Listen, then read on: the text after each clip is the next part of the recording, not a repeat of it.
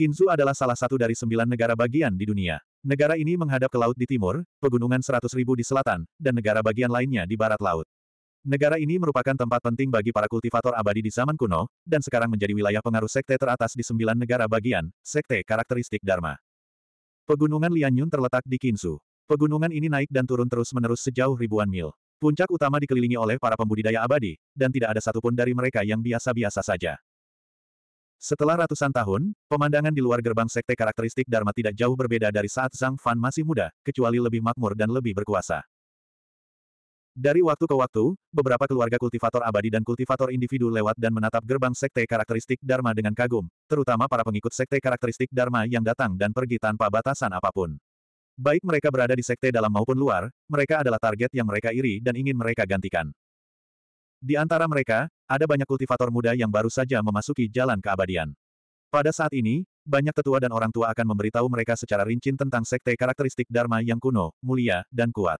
Di antara mereka, ada satu orang, Zhang Fan. Donghua Zenren, Zhang Fan. Ia bangkit seperti komet dan pernah menjadi seorang jenius yang tak tertandingi. Tidak ada seorang pun di generasi muda yang dapat menandinginya. Ia terpaksa meninggalkan Kinzu selama bencana 100 tahun. Ketika ia kembali seratus tahun kemudian, ia mencapai alam Yuanying. Wujud Dharma Kaisar Iblis terkenal untuk sementara waktu, dan kekuatan tempurnya sebanding dengan Zenren dari generasi yang lebih tua, atau bahkan lebih baik. Ia bepergian ke luar negeri dan memandang rendah alam semesta. Ia tidak pernah dikalahkan dalam pertempuran seumur hidupnya. Ia mengendalikan peta bintang siklus surgawi dan mengalahkan semua musuh yang menyerang.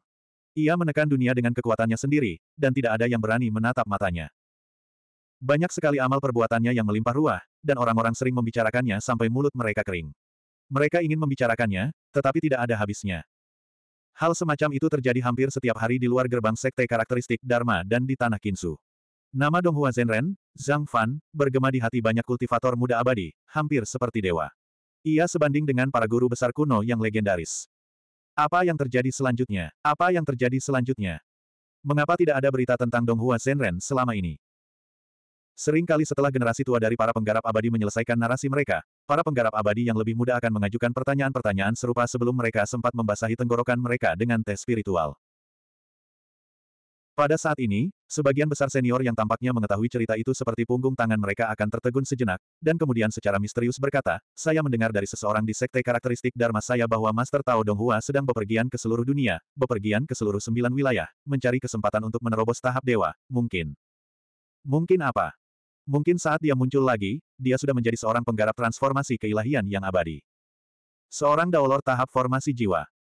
Pada saat ini, para kultivator muda sering mendambakan keabadian. Betapa mulia dan indahnya hal ini. Tidak peduli seberapa rendah akar spiritual seseorang, tidak peduli seberapa miskin situasinya, selama seseorang berkultivasi selama sehari, tidak ada seorang pun yang tidak mendambakannya. Saya benar-benar ingin bertemu Donghua Zenren suatu hari nanti dan meminta bantuannya. Jika aku bisa menjadi muridnya, mungkin ada harapan untuk keabadian.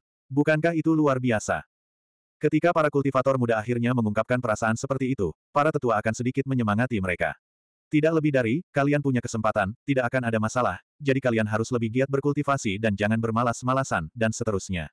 Bahkan, mereka semua diam-diam mencaci, berangan-angan, bahkan aku tidak punya kesempatan seperti itu, dan seterusnya. Tidak seorang pun tahu bahwa hari ini, Ketika kejadian di atas terjadi seperti biasa, sekte karakteristik Dharma, sekte-sekte di seluruh provinsi Qin, dan bahkan semua sekte utama di sembilan wilayah semuanya terkejut. Saya, Zhang Fan dari sekte karakteristik Dharma, kembali. Di sembilan wilayah, semua Master Tao di atas tahap Yuan Ying, apakah mereka berkultivasi dalam pengasingan atau berjuang demi harta karun, apakah mereka duduk di sekte atau menjelajahi relik bahkan jika mereka disegel oleh batasan atau ditekan oleh mantra. Tidak peduli apa pun situasinya, tidak peduli apa yang sedang mereka lakukan, pada saat yang sama, kalimat yang sama muncul di benak mereka. Abaikan semua rintangan dan hancurkan semua penghalang di saat yang bersamaan. Kalimat itu bagaikan dekrit dari surga, mengalir ke dalam pikiran setiap orang dengan keinginan seluruh dunia. Sekte karakteristik Dharma. Guru Tao Donghua, Zhang Fan. Selain rasa kaget dan takut, berbagai pikiran muncul di benak mereka.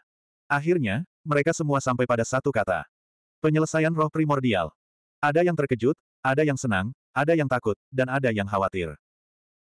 Para Master Taois tahap Yuan Ying, yang biasanya sulit dipahami oleh para kultivator muda, tampaknya tiba-tiba kehilangan ketenangan mereka. Segala macam emosi muncul di wajah mereka. Saya, Zhang Fan dari Sekte Karakteristik Dharma, kembali. Setelah melangkah keluar dari pegunungan seratus ribu dan mendarat di Provinsi Qin, Zhang Fan melihat pegunungan Lianyun di kejauhan, yang tampak seperti naga raksasa tergeletak di tanah. Dia tidak bisa menahan perasaan gembira dan hampir tak terkendali. Indra ketuhanannya yang besar tiba-tiba meledak. Dari utara ke padang belantara, ke timur ke laut, ke barat ke berbagai provinsi, sebagian besarnya menyapu tanah Provinsi Qin. Dia tidak melewatkan sejengkal tanah pun, bahkan sehelai rumput dan sebatang pohon pun. Kekuatan indra ketuhanan Zhang Fan dapat dikatakan tak tertandingi di dunia. Kekuatan semacam ini, yang lebih tinggi dari indera ketuhanan dan berasal dari roh primordial, dikatakan mampu menyapu tiga alam dan melihat segalanya saat berada pada titik terkuatnya. Meskipun dia belum mencapai level itu, dia tidak jauh darinya. Dunia sembilan prefektur sebesar telapak tangannya. Pada saat ini, dia benar-benar memahami seberapa besar kesenjangan antara seorang Master Tao pembentukan jiwa dan seorang Master Tao tahap Yuanying. Dalam proses kesadaran ilahiyahnya menyebar ke seluruh dunia, tidak ada kesadaran ilahiyah seorang Master Tao tingkat Yuanying yang dapat bersembunyi dari persepsinya, dan tidak ada kesadaran ilahiyah siapa pun yang dapat menahan transmisi suaranya. Perasaan berada di atas segalanya ini seakan mengintip dari singgasana di titik tertinggi pengadilan surgawi.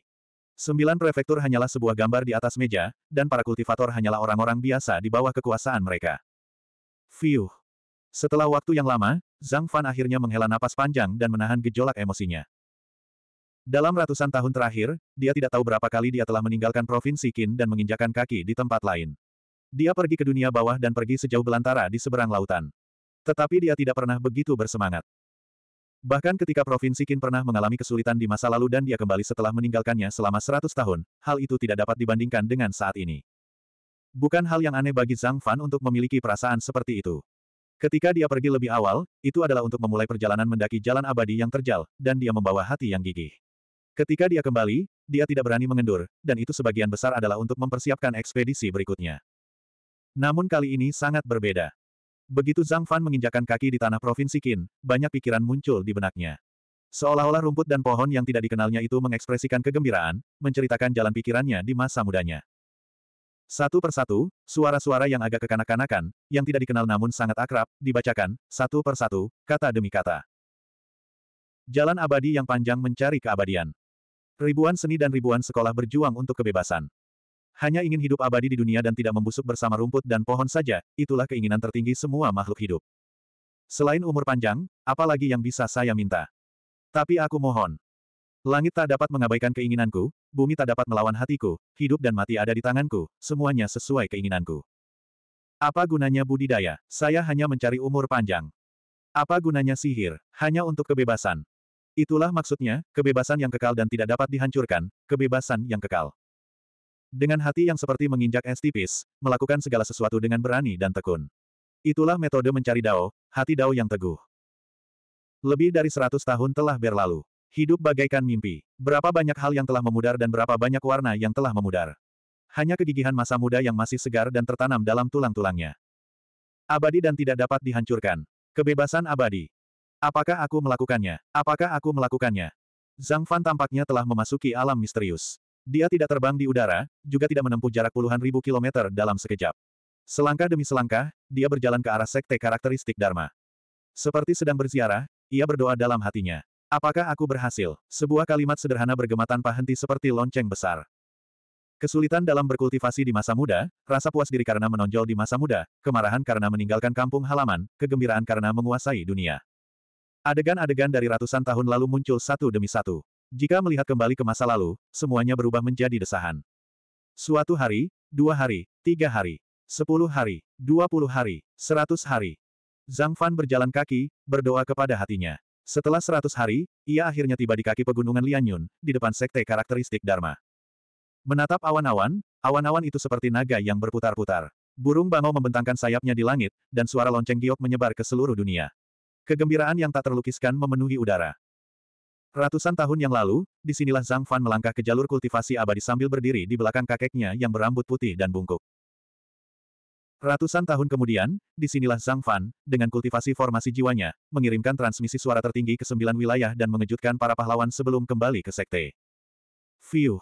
Ia menghembuskan napas panjang lagi. Napas ini tetap berada di dada Zhang Fan selama seratus hari. Napas ini menemaninya saat ia berjalan kembali ke gunung. Mengikuti kata hatinya dalam mencari Dao, ia akhirnya berhasil dan kembali ke dunia. Mungkin seseorang yang hidup selamanya. Abadi dan tidak bisa dihancurkan, belum tentu. Kebebasan. Zhang Fan menyipitkan matanya dan kilatan dingin melesat ke segala arah. Dia menatap ke suatu tempat di kehampaan dengan santai. Tatapan matanya sangat dalam, seolah-olah bisa melahap segalanya. Setelah sekian lama, dia perlahan menarik kembali tatapannya dan menyembunyikan ketajaman di matanya. Senyum hangat muncul di wajahnya saat dia melihat awan yang tersebar, lonceng perunggu dan lonceng giok yang bergema, dan sosok-sosok yang dikenalnya. Zhu Jiuxiao, Feng Jiuling, Kakek, Siruo, Long Yun, Long Er, Yu. Sosok-sosok yang familiar dan senyum hangat itu bagaikan akhir musim dingin dan datangnya musim semi. Itu sudah cukup untuk menghilangkan semua kabut dan membuat orang mabuk. Mereka menaiki tangga yang dibentuk oleh awan-awan yang berkesinambungan dan berjalan keluar dari gerbang gunung. Di belakang mereka, puluhan ribu pengikut sekte karakteristik Dharma mengikuti. Semua orang menginjak artefak Dharma standar sekte karakteristik Dharma dan membentuk dua baris di kehampaan. Aura mereka bercampur dan mengejutkan, menyelimuti seluruh pegunungan Lianyun. Zhang Fan tidak dapat lagi menahan kegembiraan di hatinya. Dia melangkah maju dan muncul di hadapan semua orang lagi. Zhu Jiuxiao, Feng Jiuling, dan yang lainnya semua tersenyum tetapi tidak maju untuk berbicara. Mereka hanya mengangguk untuk memberi salam. Makna di balik kata-kata mereka tidak bisa lebih jelas lagi. Zhang Fan tersenyum penuh terima kasih dan kemudian berjalan di depan lelaki tua itu, Siruo, Yuyu, dan yang lainnya. Kamu kembali. Saya kembali. Kata-kata yang sangat sederhana itu mengandung kasih sayang yang tak terlukiskan. Namun, saat itu belum tepat dan tidak ada cara untuk mengungkapkannya. Ketika Zhang Fan memegang tangan lelaki tua itu dan Siruo dan menghadap gerbang gunung sekte karakteristik Dharma, sebuah suara keras yang dapat menyebar ke seluruh provinsi Qin menggelegar. Para murid sekte karakteristik Dharma menyambut sang guru leluhur kembali ke gunung. Selamat, guru leluhur. Anda telah naik ke alam keabadian dan menjadi tubuh yang tidak dapat dihancurkan. Roh purba Anda bebas dan tidak terbatas. Anda akan hidup sepanjang dunia dan bersinar seperti matahari dan bulan. Selamat, guru leluhur. Petik 2 petik 2. Kata-kata itu diulang-ulang terus-menerus, semakin keras diucapkan, hingga dunia bergema dan semua orang di alam semesta menjadi saksi. Seluruh provinsi Qin, dan bahkan seluruh sembilan prefektur, pada saat ini, kecuali suara ucapan selamat, semua orang terdiam. Sembilan prefektur berguncang dan semua makhluk abadi terdiam. 1232.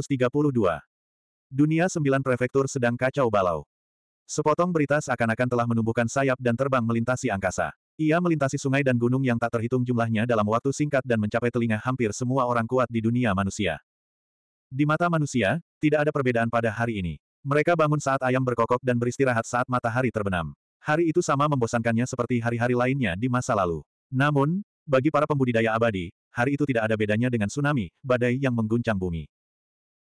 Sekte karakteristik Dharma Donghua yang sempurna, tidak, sekarang seharusnya disebut Tuan Daois Donghua, telah mencapai kesuksesan besar dalam roh primordialnya dan kembali ke sekte.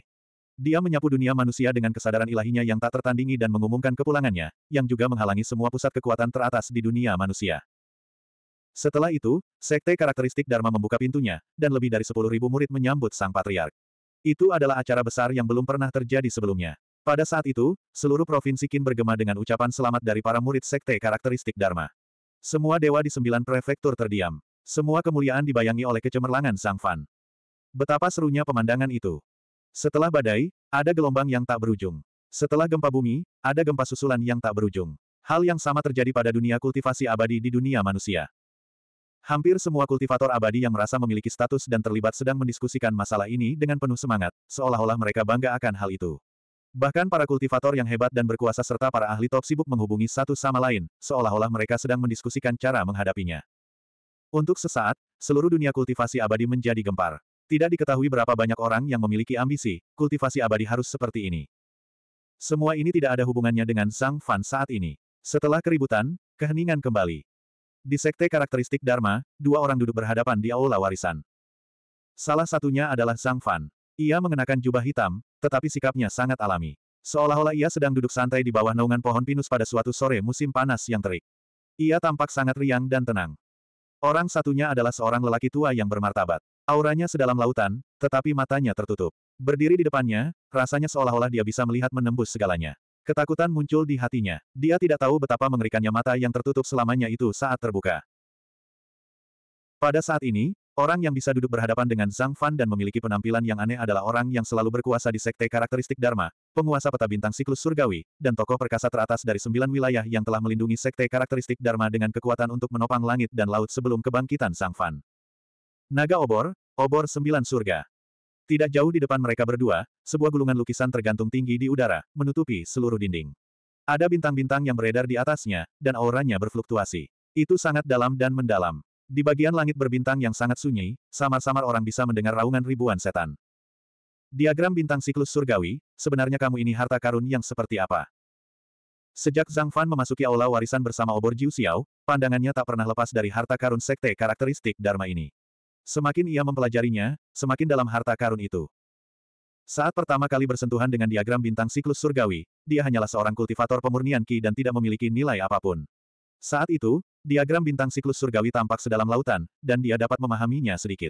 Itu bukan tanpa hasil. Sekarang, Zhang Fan adalah penguasa dao formasi jiwa yang bermartabat, eksistensi teratas di dunia manusia. Bahkan di dunia roh, dia akan menjadi salah satu dari sedikit yang teratas. Namun, ketika dia menghadapi diagram bintang siklus surgawi, perasaan yang dia dapatkan tidak berbeda dari saat dia masih muda. Biasanya, kedalamannya sama dan tak terduga seperti lautan, tapi begitu pula, dia bisa memahami sedikitnya.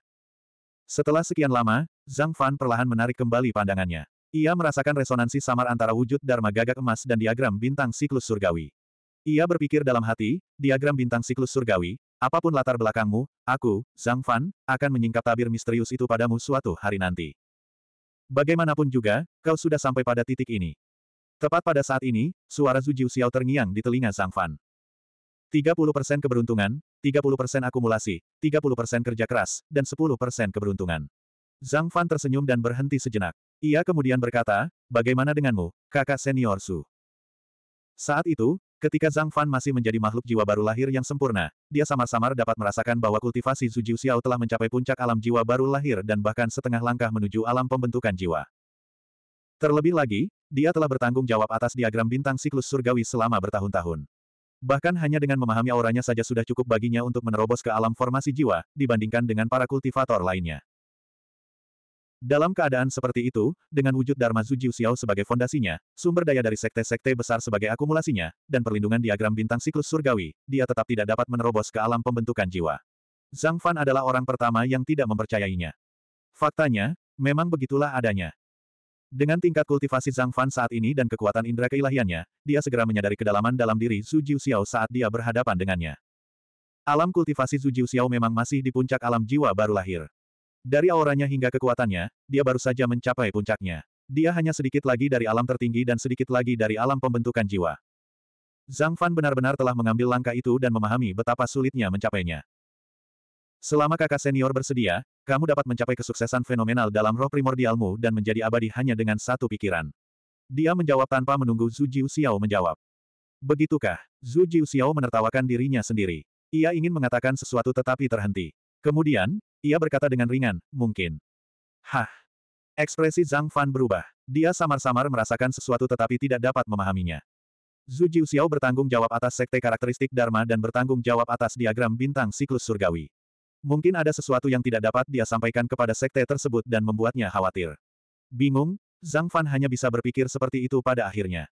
Baiklah, saudara muda Zhang, jangan terlalu banyak berpikir. Waktunya telah tiba. Apakah menurutmu aku akan menyembunyikannya darimu? Zhu Jiu Xiao menggelengkan kepalanya dan tertawa. Dia mengulurkan tangannya dan menunjuk Zhang Fan. Dia tersenyum dan berkata, katakan padaku, mengapa kamu datang mencariku?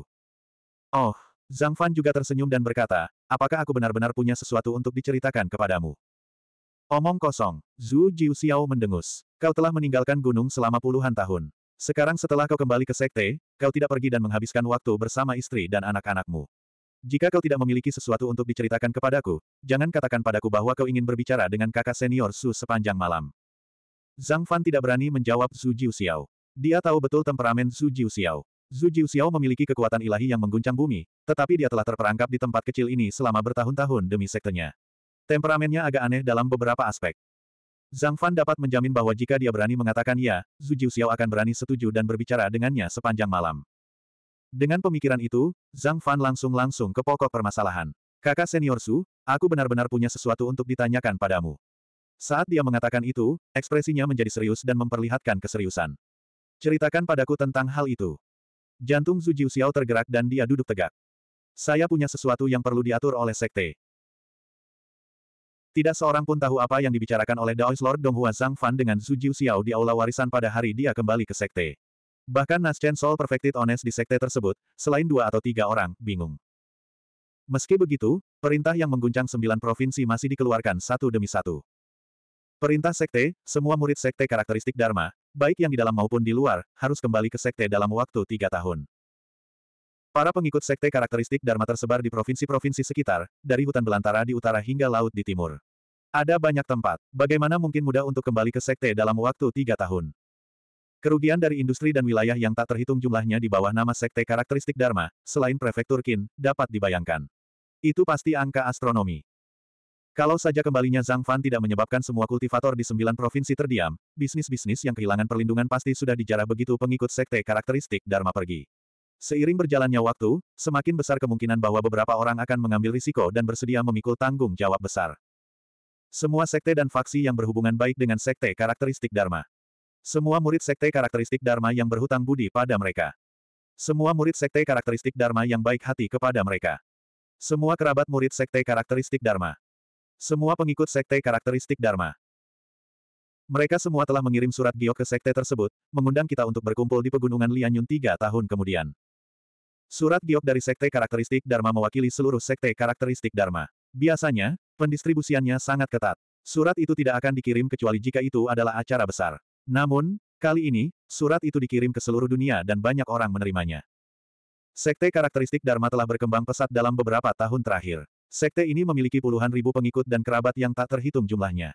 Ada banyak sekte dan faksi yang berhubungan baik dengan mereka. Ada juga banyak orang yang berteman dengan mereka demi sekte tersebut. Dengan demikian, tidak mengherankan jika tiga tahun kemudian, satu juta pembudidaya berkumpul di pegunungan Lianyun. Seberapa mengerikankah bagi satu juta pembudidaya untuk berkumpul di pegunungan Lianyun? Perintah sekte itu dikirim satu demi satu. Murid-murid sekte karakteristik Dharma yang tak terhitung jumlahnya bergerak bersama mereka. Seolah-olah embusan angin telah menyapu seluruh prefektur Qin. Kemudian menyebar, menyebabkan sembilan provinsi bergetar. Pada saat yang sama, rumor menyebar dengan cepat di antara tokoh-tokoh penting dari semua sekte teratas di sembilan provinsi. Pusat kekuatan kuno, Master Taoist Course Abandoning Sekorski, yang pernah mendominasi prefektur Qin, telah melarikan diri dan muncul kembali di dunia. Seberapa terkenalkah Daoist Korski di zaman dahulu? Hanya para kultivator generasi muda yang tidak tahu seberapa kuatnya dia. Mereka yang benar-benar memahami apa yang telah dia lakukan di masa lalu semuanya diam-diam terkejut. Pertama kali dia muncul, konon katanya dia berada di suatu tempat di sembilan provinsi. Kemudian, dia dengan paksa menerobos penghalang langit dan bumi dan masuk ke alam roh untuk mencari teman-teman lamanya, menyebabkan keributan besar. Semua sekte teratas di sembilan provinsi memiliki kultivator transformasi ilahi tingkat abadi senior di alam roh, jadi berita itu dengan cepat menyebar ke telinga sebagian besar kultivator teratas di dunia manusia. Konon, saat Dao Korski mengunjungi teman-temannya, ia sering menyebut Zhang Fan, Dao Lord Donghua dari sekte karakteristik Dharma di dunia manusia. Ia sering memujinya dan memanggilnya, orang pertama dari generasi muda. Bagaimana bisa, orang pertama dari generasi muda, ini disebut begitu saja.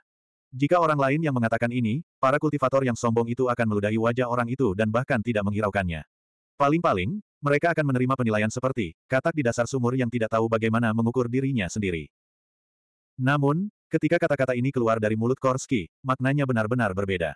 Terutama ketika Korski mengatakan bahwa dia pernah bertarung melawan Zhang Fan sebelumnya, dan berakhir dalam posisi yang tidak menguntungkan, itu benar-benar menyebabkan kegemparan. Tidak seorang pun tahu berapa banyak kultivator transformasi ilahi tingkat abadi senior yang mengirim pesan ke dunia fana, menanyakan tentang Zhang Fan, sehingga berita itu menyebar ke seluruh sembilan provinsi dengan kecepatan yang seratus kali lebih mengerikan daripada di alam roh.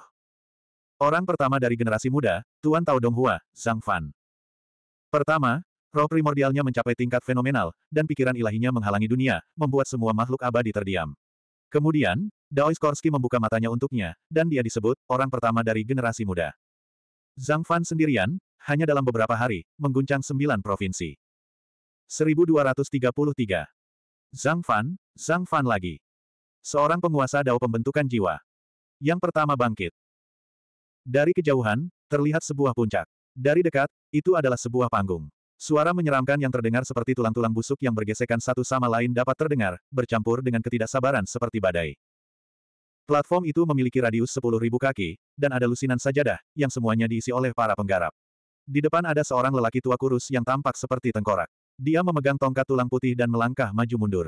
Dari waktu ke waktu, dia akan memukul tanah dengan tongkat itu, membuat suara yang membuat jantung berdebar-debar. Wah! Terdengar suara lain. Lelaki tua yang seperti tengkorak itu akhirnya tak kuasa menahan rasa tertekannya.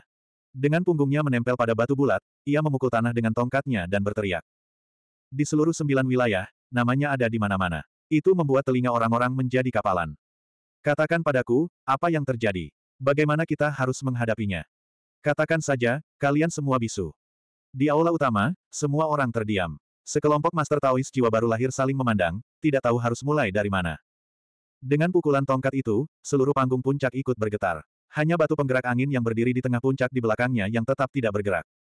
Mereka yang seharusnya bergerak tidak bergerak, dan mereka yang tidak gemetar pun bergetar hebat. Kontrasnya jelas dan sangat aneh. Batu penggerak angin ini diukir dengan gambar naga melingkar dan burung phoenix berwarna-warni, dikelilingi oleh awan dan kabut. Batu ini menyembunyikan gunung, sungai, danau, dan laut, memperlihatkan semua jenis makhluk hidup. Lapisan kekuatan spiritual beriak seolah-olah tidak akan pernah berhenti. Di batu angin yang bergerak, bendera hitam pekat berkibar tertiup angin. Suara aneh seperti burung hantu bercampur dengan suara angin kencang terus terdengar. Puncak setan mental. Batu setan mental. Spanduk Asura. Baik itu gunung ini, batu penggerak angin itu, atau bendera hitam pekat di atasnya, semuanya terkenal di sembilan wilayah. Ini adalah basis dari salah satu dari tiga sekte utama Provinsi Qin, Jalan Iblis Terpesona. Baiklah, orang tua, lakukan apa yang harus kau lakukan. Bagaimanapun, selama bertahun-tahun ini, Jalan Iblis Terpesona kita telah ditekan oleh sekte karakteristik Dharma untuk waktu yang lama. Kita hanya menyembunyikan kepala kita. Tepat saat lelaki tua kurus kering itu hendak meledak dalam kemarahan, suara perempuan yang serak dan tidak mengenakan terdengar. Menatap ke arah sumber suara, orang dapat melihat bahwa pemilik suara itu adalah seorang wanita cantik. Kontrasnya begitu jelas sehingga tak terlupakan. Orang-orang luar biasa memiliki banyak keanehan. Pria dan wanita ini kebetulan membuktikan pepatah ini. Jika ada pakar kelas atas di Provinsi Qin yang mengenal mereka, mereka pasti dapat dengan mudah mengenalinya. Daois Skeleton, wanita tua itu. Kedua orang yang berbicara di Mental Demon Peak adalah pemimpin sejati Enchanted Road. Pasangan sahabat Dao ini memiliki tingkat kultivasi yang mendalam, kekuatan yang dahsyat, dan kekuatan ilahi yang aneh. Mereka ditakuti oleh para kultivator abadi di prefektur Qin.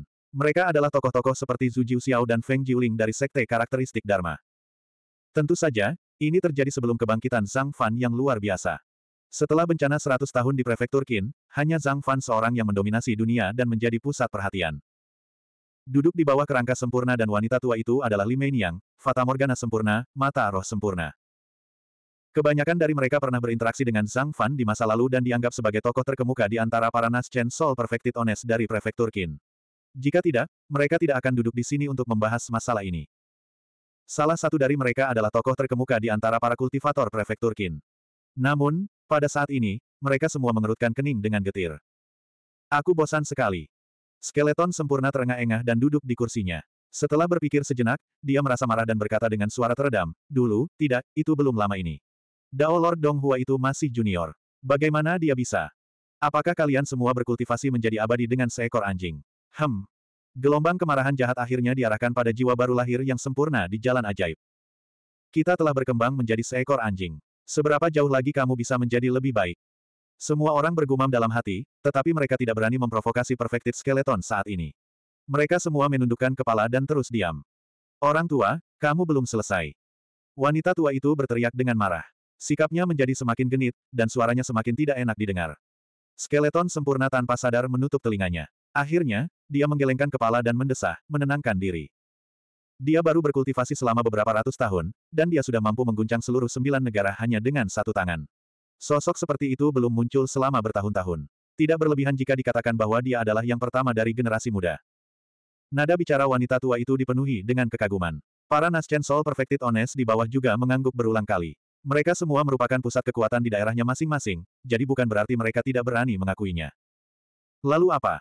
Suara misterius Perfected Skeleton terdengar di waktu yang tepat. Betapapun hebatnya dia, dia bukan milik kita.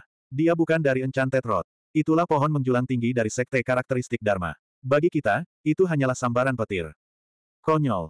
Orang tua, apa yang kau bicarakan? Wanita tua itu marah. Siapa yang bilang dia bukan milik kita? Jangan lupa siapa rekan daunnya. Siruo. Iblis kecil di masa lalu, pemimpin masa depan jalan ajaib, Siruo. Pada saat yang sama, dia juga merupakan pendamping Dao Zhang Fan dan ibu dari anaknya. Begitu kata-kata wanita tua itu keluar, semua orang terkejut. Kemudian, mereka tiba-tiba tersadar dan pikiran-pikiran melintas di benak mereka. Bukannya mereka bodoh, tetapi dengan status mereka, mustahil mereka memikirkan hal seperti itu. Jika memang begitu, Zhang Fan, Dao Lord Donghua, yang sekarang terkenal dan tampak seperti pahlawan dunia, memiliki hubungan yang dalam dengan jalan iblis ilusi. Di masa depan, ia mungkin menjadi pohon yang dapat menutupi langit jalan iblis ilusi. Batuk, batuk, batuk. Suasana aneh itu bertahan lama. Akhirnya, Perfected Skeleton terbatuk beberapa kali dan mengganti topik pembicaraan. Semuanya, menurut kalian apa tujuan sekte karakteristik Dharma melakukan ini? Sambil berbicara, dia mendecak lidahnya dan memuji, langkah yang sangat besar. Aku khawatir itu dapat mengumpulkan jutaan kultivator dan melibatkan semua sekte teratas di sembilan negara. Aku benar-benar tidak tahu siapa yang melakukan ini. Sambil berbicara, Perfected Skeleton memainkan surat giok di tangannya. Dengan hubungan saat ini antara Enchanted Road dan Sekte Karakteristik Dharma, tidak aneh sama sekali menerima surat giok dari Sekte Karakteristik Dharma. Siapa lagi yang bisa jadi? Semua orang, termasuk Perfected Skeleton, tahu betul bahwa Zhang Fan baru saja kembali ke Sekte dan membuat gerakan besar seperti itu, dan sekarang ada hal seperti itu. Siapa lagi yang bisa melakukannya selain Dewa Daois tahap baru yang mengejutkan dunia dengan satu gerakan? Secara kebetulan, semua orang dari Enchanted Road terdiam. Untuk sesaat, mereka tidak tahu harus berkata apa. Segala sesuatunya berhubungan dengan Zhang Fan, tetapi itu seperti batu besar yang tidak dapat dipindahkan. Mereka hanya merasa bahwa mereka sedang ditindas sampai kehabisan napas. Ada rasa sedih di hati para Master Taois tahap Yuanying. Dahulu kala, mereka masih tinggi dan perkasa. Hanya orang lain yang merasakan hal ini karena mereka. Mereka tidak pernah berpikir bahwa sekarang giliran mereka. Berada di era yang sama dengan orang seperti itu, aku tidak tahu apakah itu beruntung atau tidak. Setelah waktu yang lama, Perfected Skeleton menghela napas panjang dan berkata dengan kecewa. Bagaimana kalau kita mengundang Master tahu jalan ajaib, Li Meiniang, yang duduk di kursi bawah, juga menyingkirkan postur menawannya yang biasa dan bertanya dengan hati-hati. Di tengah-tengah perkataannya, dia disela oleh dua teriakan keras pada saat yang sama, diam. Wus! Awan gelap tiba-tiba menyelimuti langit di atas puncak iblis mental. Spanduk Asura berkibar tertiup angin, seolah-olah dibangkitkan oleh teriakan keras. Orang-orang yang menyela adalah Perfected Skeleton dan wanita hantu tua. Mereka saling berpandangan, dan akhirnya, kerangka sempurna berkata dengan suara tegas, Li Meiniang, apakah kamu ingin mati? Sekalipun kau ingin mati, jangan seret jalan ajaibku bersamamu. Wajah cantik Li Meiniang berubah pucat dan gemetar. Aku, aku hanya. Setelah terdiam sejenak, dia tampak telah mengumpulkan keberaniannya dan melanjutkan, mungkinkah leluhur jalan ajaib kita bukan tandingannya, seorang kultivator formasi jiwa baru. Sebelum dia selesai berbicara, terdengar teriakan dari puncak mental Demon Peak, diikuti oleh suara, bang, dari benda berat yang jatuh ke tanah.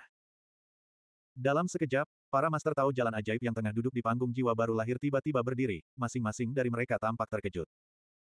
Tepat di depan mereka, seluruh tubuh Li Mei yang terlempar keluar dari sajadah. Dia masih melayang di udara, memuntahkan darah dengan liar, dan jatuh ke tanah seperti kantong kain yang penuh lumpur. Dia bahkan tidak memiliki sedikit pun perlawanan sebelum kekuatan spiritualnya tersebar. Untuk sesaat, dia seperti manusia biasa. Di atas, Perfected Skeleton perlahan menarik telapak tangannya. Gelombangnya membuat Li Meiniang menderita kerugian besar. Para Master Daois Enchanted Road yang lain menatapnya dengan heran. Perlu diketahui bahwa meskipun Perfected Skeleton mudah marah, ia jarang menyerang orang-orang dari sektenya sendiri. Hatinya yang ganas selalu diarahkan pada orang luar. Dapat dikatakan bahwa ia adalah orang yang sangat mementingkan sekte tersebut. Orang seperti itu, karena kalimat Li Meiniang, langsung menyerang tanpa ampun. Apa maksudnya ini? Hem. Apa yang baru saja terjadi, apa yang kukatakan hari ini, keluar dari mulutku dan masuk ke telingamu. Baiklah, kita akhiri saja di sini. Skeleton sempurna bahkan tidak memandang Li Meiniang dan berkata dengan dingin. Bagaimana mungkin para master tahu jalan ajaib tidak tahu bahwa skeleton sempurna ingin mengatakan sesuatu, dan mereka pun cepat-cepat menanggapi dengan penuh hormat. Jalan ajaib kita memang memiliki penguasa dao formasi jiwa, dan jumlahnya lebih dari satu. Ada yang berada di alam abadi suci, di dunia kecil, dan ada pula yang bisa kembali ke dunia manusia kapan saja. Mendengar itu, para master tahu formasi jiwa menampakkan ekspresi gembira dan menghela napas panjang, merasakan kebanggaan yang tak terlukiskan. Meskipun mereka kurang lebih tahu tentang keberadaan Dao Lord of Soul Formation di sekte mereka sendiri, itu hanyalah rumor. Tanpa mencapai level Perfected Skeleton, mereka tidak akan dapat bersentuhan dengan kekuatan tersembunyi sekte yang sebenarnya. Kekuatan itu harus digunakan saat krisis untuk memastikan warisan sekte tidak hilang. Bagaimana bisa digunakan kecuali saat kritis? Namun, Perfected Skeleton melihat reaksi semua orang dan diam-diam menggelengkan kepalanya. Dia lalu mencibir. Lalu kenapa? Hem. Dengan dukungan seorang penguasa dao formasi jiwa, bagaimana mungkin, lalu kenapa? Para master tahu pembentukan jiwa merasa bingung dan menunggu dengan tenang hingga kerangka sempurna melanjutkan. Skeleton sempurna menghela napas dan berdiri. Menghadapi spanduk Asura yang berkibar tertiup angin, dia berkata dengan suara yang dalam, bahkan di antara penguasa dao pembentukan jiwa, ada perbedaan kekuatan. Misalnya, bahkan ketika Zhang Fan masih menjadi penguasa dao pembentukan jiwa, apakah kamu berani bersaing dengannya? Para Master Tao jalan ajaib saling berpandangan dan menggelengkan kepala. Bukannya mereka tidak tahu bahwa Zhang Fan sudah ganas ketika dia masih menjadi Master Dao formasi jiwa, tetapi mereka tidak cukup sombong untuk bersaing dengannya. Bagaimana mungkin gelar Zhang Fan sebagai orang terkuat setelahnya datang entah dari mana? Itu diperoleh setelah dia bertempur sengit dengan raksasa kuno, Daoi Skorsky. Perkataan Perfected Skeleton bagaikan menuangkan seember minyak ke api kering, yang langsung menyulut emosi para Master Tao lainnya. Ah! Bagaimana mungkin? Bagaimana dia bisa begitu kuat? Bukankah dia seorang kultivator formasi jiwa baru? Sekarang, mereka akhirnya mengerti mengapa Perfected Skeleton begitu serius, dan juga alasan mengapa dia tidak meminta para tetua sekte untuk maju. Orang macam apa Daoi Skorsky itu? Sebagai kultivator yang lahir dan besar di Provinsi Qin, bagaimana mungkin mereka tidak tahu? Terlebih lagi, sekarang Dao Lord Donghua telah kembali ke sekte karakteristik Dharma dan memiliki peta bintang siklus surgawi di tangannya. Perfected Skeleton tidak mengatakan kata-kata selanjutnya, dan tidak perlu mengatakannya. Semua Master Daois Enchanted Road menjadi pucat dan benar-benar menyerah pada ide itu. Ketika peta bintang siklus surgawi berada di tangan Zhu Xiao dan Zhang Fan, yang berada di alam jiwa baru lahir, mereka telah melihat kekuatan mengerikannya dengan mata kepala mereka sendiri. Sekarang, jika Zhang Fan menunjukkannya dengan kekuatan Dao Lord of Soul Formation, itu mungkin akan sangat menakutkan dan tak terbayangkan. Huff! Li Meiniang, bangun! Setelah menundukkan semua orang, Dao Skeleton berteriak dan menunjuk Li Meiniang, yang gemetar dan sudut mulutnya berdarah.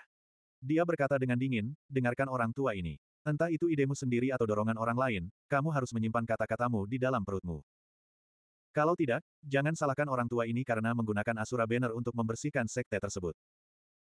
Keseriusan dan keseriusan dalam kata-kata kerangka sempurna segera membuat Li Mei yang ketakutan, dan dia dengan cepat setuju dengan suara gemetar. Kalian semua pergi. Setelah beberapa lama, Perfected Skeleton tampak lelah dan duduk kembali di futon. Dia melambaikan tangannya dan membiarkan para Daoist Master dari Naschen Soul Realm pergi. Orang pertama yang pergi adalah Li Meiniang. Sekarang, Li Meiniang telah benar-benar kehilangan pesona genitnya. Dia hanya merasa seperti sedang duduk di atas jarum dan peniti di puncak iblis mental ini, dan dia buru-buru ingin pergi. Setelah beberapa langkah, sebuah suara dingin terdengar dari belakang telinganya, Li Meiniang, jika apa yang kamu katakan tadi diceritakan oleh orang lain, kamu tidak memerlukan orang tua ini untuk mengajarimu bagaimana menghadapinya, bukan? Niat membunuh dalam suara itu membuat Li Meiniang langsung menggigil. Dia berbalik dan membungkuk sebelum bergegas pergi. Setelah beberapa waktu, hanya skeleton sempurna dan wanita hantu tua yang tersisa di puncak iblis mental. Hei, kakak senior, apa kamu tidak keterlaluan? Aku pikir Mei Niang, Kata wanita tua hantu itu dengan ekspresi sedikit khawatir. Sambil mempertahankan posturnya menghadap Panji Sura, Dawis Kerangka melambaikan tangannya dan berkata, jangan bicara lagi. Jika kita tidak melakukan ini, bagaimana mereka akan memahami keseriusan situasi ini? Satu langkah yang salah dan mereka akan jatuh dari tebing. Huff. Dia lalu mendengus dingin dan berkata, selama orang tua ini ada di sini, tidak seorang pun dapat menggunakan jalan iblis terpesona sebagai tombak. Jika mereka ingin menguji ujung bintang yang pertama kali terbit, biarkan mereka melakukan apa yang mereka inginkan. Kita tidak akan menjadi pusat perhatian. Bagaimana dengan ini, wanita tua hantu itu mengangguk dan mengulurkan jari-jarinya yang ramping untuk menunjukkan huruf giok sekte karakteristik Dharma. Dia mengerutkan kening dan berkata, apa artinya? Skeleton sempurna dengan santai mengambil surat giok di tangannya dan berkata setelah beberapa saat, ayo pergi. Untuk sekte karakteristik Dharma. Ayo kita temui Candle Jiu Xiao sebentar. Ketika para penguasa jalan iblis terpesona yang sebenarnya, tengkorak sempurna dan wanita tua hantu, pergi ke Gunung Lianyun dengan penuh keraguan, ada banyak wajah yang dikenal. Banyak orang yang berhubungan baik dengan sekte karakteristik Dharma memiliki pemikiran yang sama. Tian Hou yang sempurna dari sekte pengendali roh di Provinsi Qin, prajurit ilahi Duan Tian Lang dari sekte langit hitam di Provinsi Yu. Banyak ahli bergegas menuju sekte karakteristik Dharma pada saat yang sama dengan pikiran yang berbeda-beda dalam benak mereka. Pada saat ini, apa yang sedang dilakukan Zhang Fan, yang menurut semua orang berada di pusat badai? Di puncak matahari timur. Bernyanyi dan menari, kecantikan bagaikan batu giok, pedang bagaikan pelangi. Memainkan lagu solo, bunga seperti brokat, memainkan seruling giok. 1234. Matahari terbit di puncak matahari timur dari sekte karakteristik Dharma di pegunungan Lianyun. Sejak Zhang Fan kembali ke sekte karakteristik Dharma dan kembali ke bekas puncak matahari timur, pemandangan aneh telah muncul di sekte karakteristik Dharma. Tidak peduli jam berapa saat itu, apakah saat matahari terbit atau terbenam, sekte karakteristik Dharma akan selalu melihat matahari merah terang tergantung di puncak-puncak matahari timur. Dari waktu ke waktu, akan ada seekor burung berkaki tiga dengan bulu emas menari di bawah sinar matahari merah di puncak matahari timur. Setiap kali, matahari merah itu tampak hidup, menjilati api emas dan memancarkan ribuan sinar cahaya. Semua murid sekte karakteristik Dharma tahu tentang burung itu. Itu adalah burung iblis yang dibawa oleh Dao Lord Donghua sejak dia berada di tahap pemurnian Qi. Jiwa baru lahir biasa yang telah disempurnakan bahkan tidak akan sanggup menahan kepakan sayapnya, jadi tentu saja mereka tidak berani melihatnya karena takut membuat marah leluhur kecil ini. Para murid sekte karakteristik Dharma sibuk dengan beberapa perintah mendadak dari sekte tersebut. Bahkan jika mereka sesekali lewat, mereka hanya bisa memandang puncak Dong yang dari jauh dengan kagum. Kemudian, mereka hanya bisa melamun tentang diterima oleh Taois Donghua dan dilatih dengan saksama olehnya. Itu saja. Oleh karena itu, tak seorang pun yang mendekat, sehingga tak seorang pun dapat mendengar alunan musik surgawi yang datang dari puncak Dongyang. Suara seruling menembus hutan yang jarang, menyebabkan ranting dan daun berkicau. Suara itu menembus permukaan danau, menyebabkan riak-riak. Suara itu menembus kota yang ramai dan meresap ke dalam kabut. Akhirnya, seperti burung yang lelah kembali ke hutan, suara itu bertahan di halaman yang tertekan. Meja batu dan kursi kayu diukir. Itu adalah pemandangan alam yang menyatu dengan langit dan bumi. Di tempat elegan yang tampaknya bukan milik dunia fana ini, bayangan putih menari mengikuti alunan suara seruling yang jernih. Wus! Sebuah rantai putih, seperti ular perak yang menari atau naga giok yang muncul dari dalam tanah, tiba-tiba melesat keluar seperti kilat dan melilit sebuah pohon tua di puncak Isun Peak. Segera setelah itu, sosok yang sangat lembut dan anggun tak terlukiskan terbang ke langit bersama rantai putih. Dengan menggunakan kekuatan pohon tua, sosok itu berbalik dengan ringan dan perlahan turun dari langit. Dia tampak bagaikan peri dari surga, menari di Bima Sakti, turun ke dunia fana. Bersamaan dengan tawa itu, tubuhnya yang lentur dan anggun mendarat di tanah. Kakinya yang telanjang seperti batu giok bersinar dengan kilau yang berkilau dan tembus cahaya, seolah-olah itu adalah batu giok terbaik yang telah diukir dengan cermat dan dimainkan oleh keluarga batu giok selama beberapa generasi. Teratai seputih salju dan sebening kristal mekar dengan anggun di tempat kakinya melangkah. Embun yang tampak seperti mutiara mengalir di setiap kelopaknya, dan dipenuhi dengan keindahan beku dan vitalitas yang luar biasa. Dengan satu titik dan jeda, si cantik menari di atas teratai putih. Satu gulung, satu gulung lagi. Sutra putih telah habis, dan pelangi muncul, sentuhan embun beku. Tarian yang lembut dan indah itu secara alami berubah menjadi tarian pedang yang kuat. Kombinasi antara kekerasan dan kelembutan itu menyenangkan mata. Menyaksikan tarian keindahan yang tiada taraf ini bagaikan berada di tengah ratusan bunga di musim semi dan musim panas. Ia tak kuasa menahan diri untuk tidak terpesona, tetapi ia tetap membuka matanya lebar-lebar dan tak sanggup melewatkannya, mengamati dengan rakus. Mendengar bunyi suling yang jernih dan merasakan bahwa setelah terbebas dari belenggu suling, seseorang akan terhanyut dalam suasana yang menenangkan, merdu, atau penuh gairah di tengah alunan musik surgawi, melupakan segala kekhawatiran duniawi dalam sekejap. Keindahan yang tak tertandingi di depannya memiliki kaki seperti batu giok, senyum yang manis, dan kecantikan yang tak terlukiskan. Dia adalah pendamping Tao Zhang Fan, pemimpin sekte berikutnya dari Jalan Ajaib, Siruo. Adapun pemilik seruling itu, selama seseorang melihat ke arah suara itu, tidak sulit untuk melihat seorang wanita mungil dan elok duduk bersila di atas futon. Tangannya yang putih dengan lembut menekan seruling giok itu. Rambutnya yang panjang bagaikan air terjun berwarna hitam pekat, lurus dan halus, menjuntai lurus ke tanah. Poninya yang sedikit terbuka tidak dapat menyembunyikan bunga anggrek ungu. Anggrek seperti itu di lembah yang kosong, mandiri dan jauh dari dunia, adalah milikku, Wan Er. Selain mereka berdua, di halaman kecil di puncak matahari timur, yang awalnya didedikasikan untuk kakek Zhang Fan, hanya lelaki tua itu sendiri yang tertawa gembira, bersandar santai pada lelaki tua itu, bertepuk tangan dan tertawa. Zhang Fan minum sendiri, matanya penuh kehangatan. Tidak ada orang lain. Tarian seruling ini berlangsung lama. Penari tidak tahu apa itu kelelahan, dan pemain seruling menikmatinya. Zhang Fan dan yang lainnya yang menikmatinya berharap tarian ini bisa terus berlanjut seperti ini untuk waktu yang lama. Swash! Tiba-tiba, sutra putih menari-nari di udara, berlapis-lapis, dan padat. Di antara semuanya, ada seorang wanita cantik, satu kakinya menyentuh tempat duduk teratai, dan tubuhnya mulai berputar cepat. Dalam sekejap, bagaikan mimpi, bagaikan fantasi, bagaikan dewi yang mabuk, mekar dengan kecantikan yang tak berujung. Bahkan kemakmuran yang jauh dan dekat, awan berwarna-warni yang tinggi dan rendah, ikan-ikan di danau, dan burung-burung di hutan, semuanya merasa malu dengan inferioritas mereka. Tidak ada yang lebih indah dari ini. Pada saat yang paling agung dan paling intens ini, seruling yang tampaknya tak pernah berhenti itu tiba-tiba berhenti, dan digantikan oleh nyanyian yang memukau bagaikan burung oriole yang meninggalkan lembah. Tarian Siruo sangat indah, dan lagu Waner tak tertandingi.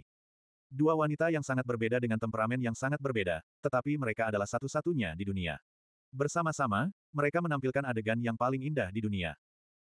Ketika tarian dan lagu berhenti, Zhang Fan dan yang lainnya kembali menatap hutan yang subur, danau yang bercermin, dan awan berwarna-warni. Mereka tiba-tiba merasa warnanya berkurang, dan tidak ada lagi keaktifan di dalamnya. Satu tarian dan satu lagu membuat alam kehilangan warnanya. Kolaborasi antara Sirwo dan Waner ini bisa dikatakan tiada taraf. Bagus, sangat bagus. Lelaki tua itu tertawa, satu tangannya membelai kepala cucunya, Yuyu, yang duduk di pangkuan Cheng Huan. Tangan lainnya membelai jenggotnya dan tersenyum, wajahnya penuh kebaikan dan kepuasan. Kakek benar, ibu, kamu menari dengan sangat baik. Yuyu tidak peduli bahwa dia meringkuk di samping lelaki tua itu dan melompat setinggi tiga kaki. Begitu kata-kata itu keluar dari mulutnya, dia sepertinya merasa ada yang salah. Dia segera menjulurkan lidahnya dan berkata, lagu ibu kedua juga sangat bagus, kamu harus mengajari Yuyu. Di antara mereka bertiga, hanya Zhang Fan yang tersenyum dan tidak berkata apa-apa. Ia berdiri untuk menyambut kedua wanita itu dan menyerahkan sapu tangan sutra kepada mereka masing-masing. Matanya penuh kelembutan saat ia berkata, terima kasih atas kerja kerasmu. Dia tidak tahu apakah itu karena nyanyian dan tarian yang tidak ada di dunia itu sulit, atau karena ratusan tahun penantian itu memilukan. Dari sekian banyak orang yang telah ditemuinya dalam ratusan tahun terakhir, hanya beberapa kerabatnya yang bisa menikmati kelembutan semacam ini. Pada saat ini, di hadapan orang-orang ini, lelaki di hadapan mereka tampaknya bukanlah penguasa Dao Donghua yang mengguncang sembilan negara, orang pertama yang bangkit, melainkan hanya seorang suami, ayah, dan cucu. Baik wajah maupun dahi Siruo maupun Waner dipenuhi butiran keringat. Udara di atas kepala mereka juga mengepul. Meskipun wajah mereka penuh dengan senyuman, mereka tidak dapat menyembunyikan kelelahan mereka. Siruo adalah seorang kultivator Naschen Sol, dan Waner bukanlah seorang wanita biasa. Tarian dan lagu mereka seharusnya tidak seperti ini. Tapi kalau tidak seperti ini, tidak mungkin ada wanita cantik yang langka di dunia ini. Mereka telah mengerahkan seluruh kekuatan mereka untuk tampil cemerlang. Ini tidak ada hubungannya dengan teknik, ini adalah perwujudan esensi, ki, dan jiwa mereka, dan itu adalah kecantikan alami yang ditampilkan secara ekstrim. Menghadapi sapu tangan brokat yang diserahkan Zhang Fan, Waner menerimanya dengan patuh. Siruo tidak bergerak sama sekali, sedikit memiringkan kepalanya seolah sedang menunggu sesuatu. Senyum itu cerdik dan licik, mirip dengan senyum Yuyu yang duduk di sebelah tuan tua Cheng Huan. Namun, di mata Zhang Fan, itu adalah senyum gadis iblis kecil yang pertama kali ditemuinya di lembah tanpa kembali ratusan tahun yang lalu. Dia menggelengkan kepalanya dan tertawa. Dia mengambil sapu tangan dan menyekadahi Siruo yang halus. Pada saat yang sama, dia tidak lupa mengambil kembali sapu tangan brokat dari tangan Waner dan melakukan hal yang sama. Itu adalah semangkuk air. Siruo hanya meliriknya dengan genit lalu pura-pura tidak melihatnya. Dia memejamkan mata dan menikmati kelembutan yang langka ini. Hanya Tuan Tua dan Yuyu yang melihat pemandangan ini dengan mata kepala mereka sendiri. Mata lelaki tua dan gadis muda itu berbinar pada saat bersamaan. Di mata Yuyu yang besar dan hitam putih, bola matanya berputar-putar. Dia melihat ke sana kemari, seolah-olah sedang memikirkan sesuatu. Sang guru tua jauh lebih sederhana. Ia mengelus jenggotnya dan tersenyum. Ia ingin bertepuk tangan dan berkata, keterampilan yang bagus, nak. Tentu saja, itu hanya sebuah pikiran. Kalau tidak, gadis iblis kecil di sebelahnya tidak akan membiarkannya pergi dan mencabut jenggotnya. Keterampilan yang bagus, keterampilan yang bagus. Siapa tahu, dia bahkan bisa memberi orang tua ini seorang cucu atau semacamnya. Sang master tua sangat gembira dan tidak dapat menahan diri untuk tidak memikirkan hal seperti itu. Sejujurnya, dia benar-benar puas sekarang. Bagaimana mungkin dia tidak merasa puas? Terutama sebulan yang lalu, ketika Zhang Fan kembali ke sekte karakteristik Dharma dengan momentum yang mengguncang dunia, hal pertama yang dia katakan ketika dia sendirian dengannya. Kejadian pada hari itu masih segar dalam ingatan sang guru tua. Pada saat itu, Zhang Fan berlutut di depannya dengan keras. Dia mengangkat kepalanya dan berkata, kakek, aku berhasil. Kamu berhasil. Tiga kata sederhana ini tampaknya memiliki daya tarik yang tak terlukiskan. Dalam sekejap, guru tua itu dibawa kembali ke hari-hari ratusan tahun yang lalu, ketika dia gugup dan memaksakan diri untuk membusungkan dada dan mengirim cucunya ke sekte karakteristik Dharma. Hari itu, di luar balai warisan, guru tua itu menyentuh kepala Zhang Fan muda dan berkata dengan ramah, saya tidak punya kemampuan dalam hidup ini, saya juga tidak punya ambisi besar. Saya hanya punya satu keinginan. Jika keturunanku, Zhang Yuantu, bisa menjadi seorang kultivator hebat, jangan biarkan orang lain memandang rendah dirimu. Tidak seorang pun tahu bahwa setelah meninggalkan Zhang Fan di sekte karakteristik Dharma hari itu, guru tua itu menangis sepanjang perjalanan pulang. Tidak seorang pun tahu bahwa ketika Zhang Fan melakukan petualangan untuk pertama kalinya dan pergi ke lembah tanpa kembali, guru tua itu dipenuhi dengan rasa takut dan antisipasi. Tidak seorang pun tahu bahwa setiap kali dia mendengarkan orang lain dengan bangga berbicara tentang perbuatan cucunya, dan setiap kali dia mendengarkan cucunya dengan santai berbicara tentang pengalamannya, guru tua itu tidak dapat menyembunyikan sakit hati dan kekhawatirannya di balik senyum di wajahnya. Tidak seorang pun tahu. Hanya tuan tua itu sendiri yang tahu. Selama ratusan tahun dan hari-hari yang tak terhitung, pengalaman pahit dan kebencian masa lalu memudar. Setiap malam, ketika lelaki tua itu terbangun dalam mimpinya, dia menyesali apa yang telah dikatakannya. Aku, Zhang Yuantu, tidak ingin punya cucu yang seorang kultivator hebat. Aku hanya ingin cucu yang aman. Meskipun kalimat ini terlintas dalam pikirannya berkali-kali, dia belum pernah mengatakannya kepada siapa pun sebelumnya. Ia takut menimbulkan masalah bagi cucunya yang semakin hari semakin bertambah angkuh. Sang guru tua hanya dapat tersenyum ramah dan menyembunyikan segala kekhawatiran, ketakutan dan penyesalannya, memainkan peran sebagai seorang kakek kultivator hebat. Semua ini telah terkumpul di dalam hatinya, tidak dapat dilampiaskan sampai Zhang Fan berlutut di depannya. Wajahnya tetap cerah seperti sebelumnya, dan dia mengucapkan kata demi kata, penuh dengan emosi. Kakek, aku berhasil. Begitu kata-kata itu memasuki telinganya, dia tidak dapat menahan diri untuk tidak menangis dan terisak-isak.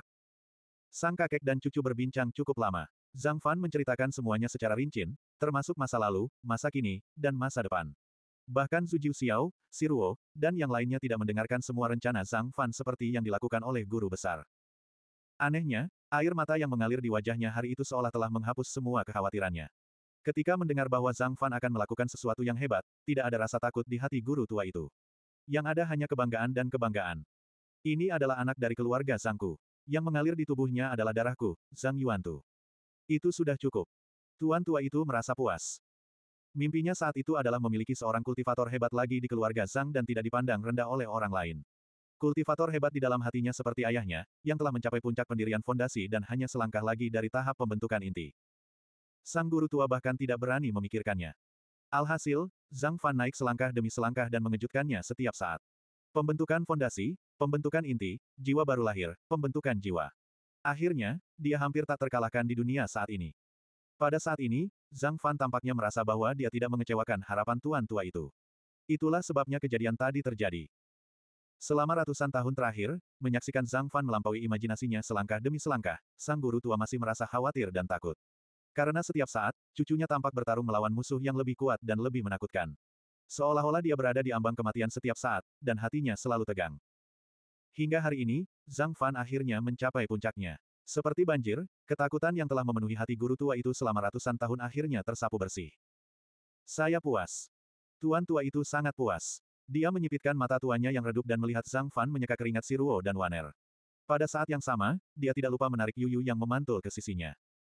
Sambil mengusap rambut cicitnya, dia melihat perilakunya seperti gadis kecil yang tidak bisa tumbuh dewasa. Dia memanjakannya tetapi juga sedikit khawatir. Bagaimana ini bisa baik? Tidak mudah untuk menikah. Siapa yang berani menikah? Sekarang, Zhang Fan tidak perlu khawatir lagi padanya. Setelah pembicaraan hari itu, kepercayaan tuan tua terhadap cucunya mencapai titik tertinggi yang belum pernah terjadi sebelumnya. Tentu saja, kekhawatiran tuan tua terhadap cucunya tidak dapat dihindari dan beralih ke Yuyu. Setelah dipikir-pikir lagi, lelaki tua itu merasa lega. Jangan takut, jangan takut. Aku sanggup menunggu. Saat gadis ini tumbuh dewasa, dia akan menjadi cicit. Cicit-cicit. Cicit-cicit akan melahirkan cicit-cicit-cicit. Anak dan cucu mereka tidak ada habisnya. Sang guru tua begitu bahagianya sehingga matanya hampir tidak terlihat. Tuan tua itu telah mengambil Hollow Azurite berusia 10.000 tahun dan berumur panjang. Dia hampir bisa berdiri berdampingan dengan Sang Fan. Selama dia hidup dalam damai dan tidak menghadapi bahaya, sebenarnya bukan tidak mungkin untuk melihat hari dalam fantasinya. Tepat saat tuan tua itu tengah tenggelam dalam angan-angannya dengan senyum bahagia dan ramah di wajahnya, Zhang Fan sudah menggenggam erat kedua tangan itu, yang sama sekali berbeda namun sama di dunia, dan membawanya untuk duduk di sampingnya. Baiklah, baiklah, anak-anak muda, bersenang-senanglah. Aku akan tidur dulu. Malam ini, aku ada janji dengan beberapa teman untuk menikmati bulan dan minum teh.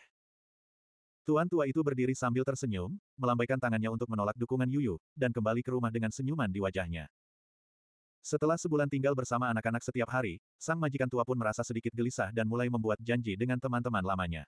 Adapun berapa banyak di antara mereka yang menikmati bulan dan teh serta memamerkan anak dan cucu mereka, orang luar tidak perlu mengetahuinya. Bagaimanapun, dalam hal berjuang demi cucu, tak seorang pun dapat mengalahkannya. Ia bahagia dan tak kenal takut, dan berada dalam posisi yang tak terkalahkan. Setelah melihat lelaki tua itu pergi, dia akhirnya bebas. Dia melompat ke sisi Zhang Fan, Siruo, dan Wan Er. Matanya penuh dengan kelicikan saat dia melihat ke sana kemari, seolah-olah dia sedang menghitung sesuatu. Zhang Fan tersenyum, melambaikan tangannya, dan berkata, sudah saatnya, pergilah dan sambut saudara muda Long Yun dan senior Sutong. Sudah waktunya. Begitu dia mengatakan ini, ekspresi Siruo dan Wan, Er sedikit berubah. 1235. Sudah waktunya. Kapan? Yuyu tidak mengerti mengapa ekspresi Siruo dan Wan Er tiba-tiba berubah, sama seperti dia tidak mengerti mengapa mereka berdua begitu akrab. Bagaimana mungkin dia tidak tahu seperti apa kepribadian ibunya? Meskipun dia tidak mengerti, Yuyu tetap patuh mengikuti instruksi Zhang Fan dan berjalan keluar halaman. Selama bulan ini, tempat di mana Zhang Fan berada seakan-akan ditutupi oleh penghalang tak kasat mata. Siruo dan Yuyu sama-sama kultivator Nas Chen Sol, tetapi selama mereka berada di samping Zhang Fan, mereka tetap tidak bisa merasakan apa yang terjadi di luar sama sekali. Hal ini berlaku bagi mereka, dan lebih berlaku lagi bagi orang-orang di luar sana. Selama bulan ini, ia menemani kakek, istri, dan putrinya. Ia benar-benar terputus dari dunia, dan tak seorang pun dapat menemukannya. Betapa langkanya kita bisa menikmati kebahagiaan sebuah keluarga tanpa gangguan apa pun, dan betapa cepatnya waktu bahagia itu berlalu. Begitu Zhang Fan mengatakan ini, si Ruo dan Waner mengerti. Kekecewaan mereka terlihat di permukaan dan tidak dapat dikendalikan. Sebagai tanggapan, Zhang Fan hanya bisa tersenyum meminta maaf.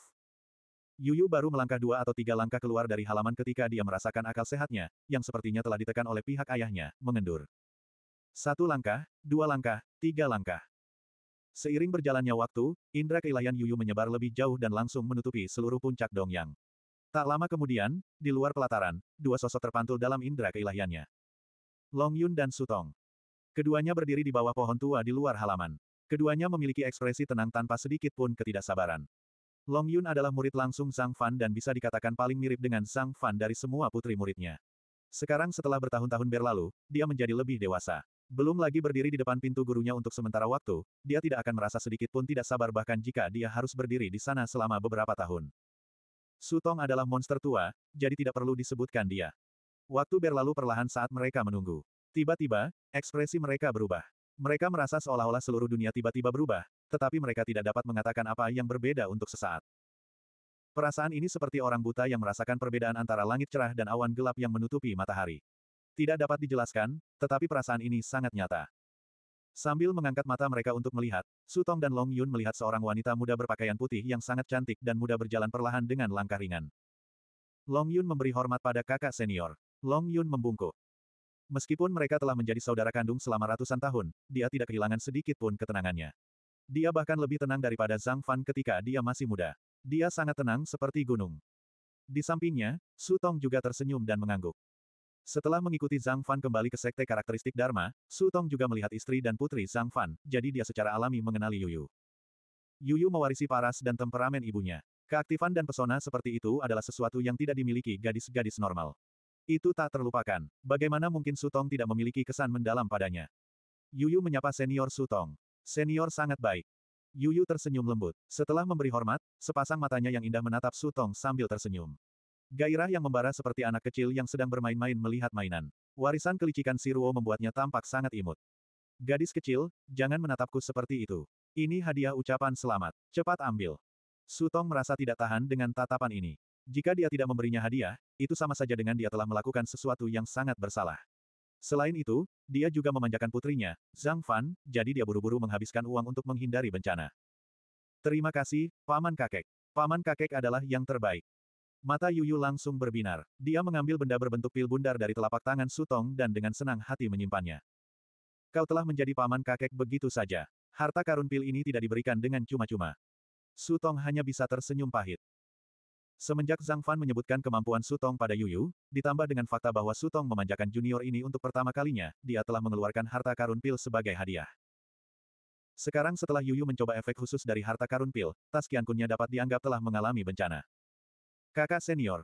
Long Yun mengerutkan kening. Dia ingin mengatakan sesuatu, tetapi dia hanya bisa tersenyum pahit ketika Yuyu melotot padanya. Ah, benar juga. Yuyu menepuk kepalanya. Dia sepertinya memikirkan sesuatu dan berkata kepada Long Yun, adik laki-laki, pil kakak senior akan bergantung padamu di masa depan. Baik, kakak senior. Senyum pahit Long Yun menegang. Dia hanya merasa bahwa hari-harinya di masa depan akan sedikit menyedihkan, tetapi dia sudah terbiasa diganggu oleh Yuyu. Dia tidak berani menolak, tetapi ekspresinya menjadi semakin pahit. N, lebih seperti itu. Yuyu mengangguk puas. Sutong buru-buru berkata, ayo, kita tunjukkan jalan. Orang tua ini sudah lama menginginkan teh harum dari rekan Dawis Sang. Dia datang untuk membantu Long Yun keluar dari kesulitannya. Long Yun telah mempelajari ilmu alkimia darinya selama sebulan penuh. Hari itu, ketika Zhang Fan berkata bahwa dia akan meminta muridnya untuk berkonsultasi dengannya setiap hari, yang dia maksud adalah Long Yun. Setelah akur, Su Tong memiliki kesan yang sangat baik terhadap Long Yun, anak yang tenang dan baik hati ini. Dia merasa pusing hanya dengan melihat Yuyu, gadis kecil ini. Dia buru-buru mengganti topik pembicaraan, jangan sampai anak yang jujur itu terus diperas. Yuyu juga tampak puas. Dia tersenyum pada Sutong dan menuntun mereka berdua ke halaman. Ketika mereka bertiga memasuki halaman, lelaki tua itu sudah pergi. Hanya Zhang Fan dan istrinya yang sedang memasak teh harum. Aroma teh yang pekat memenuhi dunia. Hahaha, rekan Daois Sang sangat beruntung. Paman telah mengganggumu. Sutong tertawa keras dan masuk. Tanpa menunggu Zhang Fan menyapanya, dia langsung duduk di seberangnya. Yuyu tidak peduli dengan kehadiran Sutong. Dia segera kembali ke sisi si Ruo dan mengeluarkan sesuatu untuk disembunyikan dari si Ruo dengan lengan bajunya. Wajahnya penuh dengan kegembiraan, seolah-olah dia adalah seorang anak yang telah memperoleh sesuatu yang baik dan memamerkannya kepada orang tuanya. Melihat kejadian ini, tangan Sutong yang memegang cangkir teh tidak dapat menahan diri untuk tidak menegang. Dia tertawa getir dalam hatinya, apa yang disembunyikan. Aku bahkan tidak perlu berpikir untuk tahu bahwa dia sedang mempersembahkan harta keluarga lelaki tua ini. Surga mengasihani saya. Harta karun pil bukanlah sesuatu yang bisa dimurnikan begitu saja. Tuan Tanah tidak memiliki makanan berlebih. Dia tidak lupa memikirkan berapa kali sedikit kekayaan keluarga itu dapat mendukung eksploitasi Yuyu. Kakak Paman, anakku memang nakal. Apa yang bisa disembunyikan dari mata Zhang Fan di puncak matahari timur? Melihat wajah Masam Sutong, dia tidak bisa menahan tawa. Sama sekali tidak, Yuyu sangat imut. Jika kamu senggang, mengapa kamu tidak datang ke tempatku? Di tengah-tengah perkataannya, Sutong melihat mata Yuyu berbinar. Ia langsung merasa ada yang tidak beres dan buru-buru mengganti topik pembicaraan. Ini. Datanglah ke tempatku untuk mencari Long Yun untuk bermain.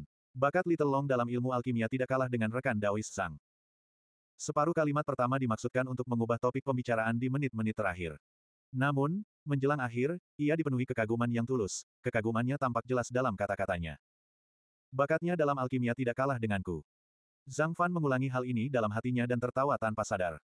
Surga tahu bakat macam apa yang dimilikinya dalam alkimia. Yang dimilikinya hanyalah kuali langit dan bumi sembilan revolusi, serta obat-obatan spiritual dan pengalaman yang tak terhitung banyaknya. Di sisi lain, Su Tong ini dapat dikatakan sangat hebat dalam bidang alkimia. Ia telah memberikan kontribusi besar dalam memulai kembali jalur alkimia setelah bencana besar era kuno. Ia adalah orang yang terus menekuni jalur alkimia. Bahkan para Grandmaster besar dalam bidang alkimia tidak cukup untuk menggambarkannya. Untuk bisa mendapatkan pujian tulus dari orang ini, bakat Long Yun dalam alkimia bisa dibayangkan. Memikirkan hal ini, sebuah pikiran muncul di hati Zhang Fan, dia tak dapat menahan diri untuk melirik Long Yun. Pada saat ini, Long Yun telah selesai memberi penghormatan dan berdiri dengan hormat di sisinya. Little Long, apakah akhir-akhir ini kamu bermalas-malasan saat mengikuti saudara Su? Apakah Anda bersedia untuk lebih berkembang dalam bidang alkimia? Zhang Fan tersenyum tipis, merasa sangat puas dengan muridnya ini sambil bertanya dengan hangat. Senior Su sangat memperhatikan murid ini, dan ilmu alkimia juga cukup menarik. Murid ini bersedia mempelajari satu teknik dao jika tidak akan menghambat kultivasi saya. Saya harap guru dapat mengabulkan keinginan saya. Long Yun tidak pernah menyembunyikan apa pun di depan Zhang Fan. Dia berbicara apa adanya. Bagus. Zhang Fan langsung gembira. Dia tentu saja mengerti muridnya, dan apa yang dikatakan Long Yun jelas merupakan kebenaran. Dia tidak memeriksa dengan saksama pencapaian Long Yun dalam alkimia. Bagaimanapun, bakat alami Long Yun mirip dengan bakat Zhang Fan, dan bakatnya tidak terlalu bagus. Lebih baik berkonsentrasi pada kultivasi di awal. Namun hanya berdasarkan beberapa kata dari Long Yun, Zhang Fan kurang lebih memiliki ide dalam hatinya. Dalam urusan dunia, tak peduli apakah makhluk hidup itu fana atau abadi, akan selalu ada kemiripan. Dalam ilmu alkimia, Zhang Fan sudah menjadi seorang Grandmaster sejati, jadi dia secara alami memahami dalam hatinya betapa membosankannya hal itu. Selain itu, Mampu merasakan kata-kata, agak menarik. Dalam hal yang membosankan bukanlah sesuatu yang dapat dilakukan oleh orang biasa, dan itu sebagian besar karena memiliki bakat alami. Setelah merenung sejenak, Zhang Fan menatap Long Yun yang masih bersikap hormat seperti sebelumnya, dan dia berkata sambil tersenyum tipis, itu sangat bagus. Little Long, fokuslah belajar dari saudara Su. Setelah beberapa waktu, guru tentu akan membantumu.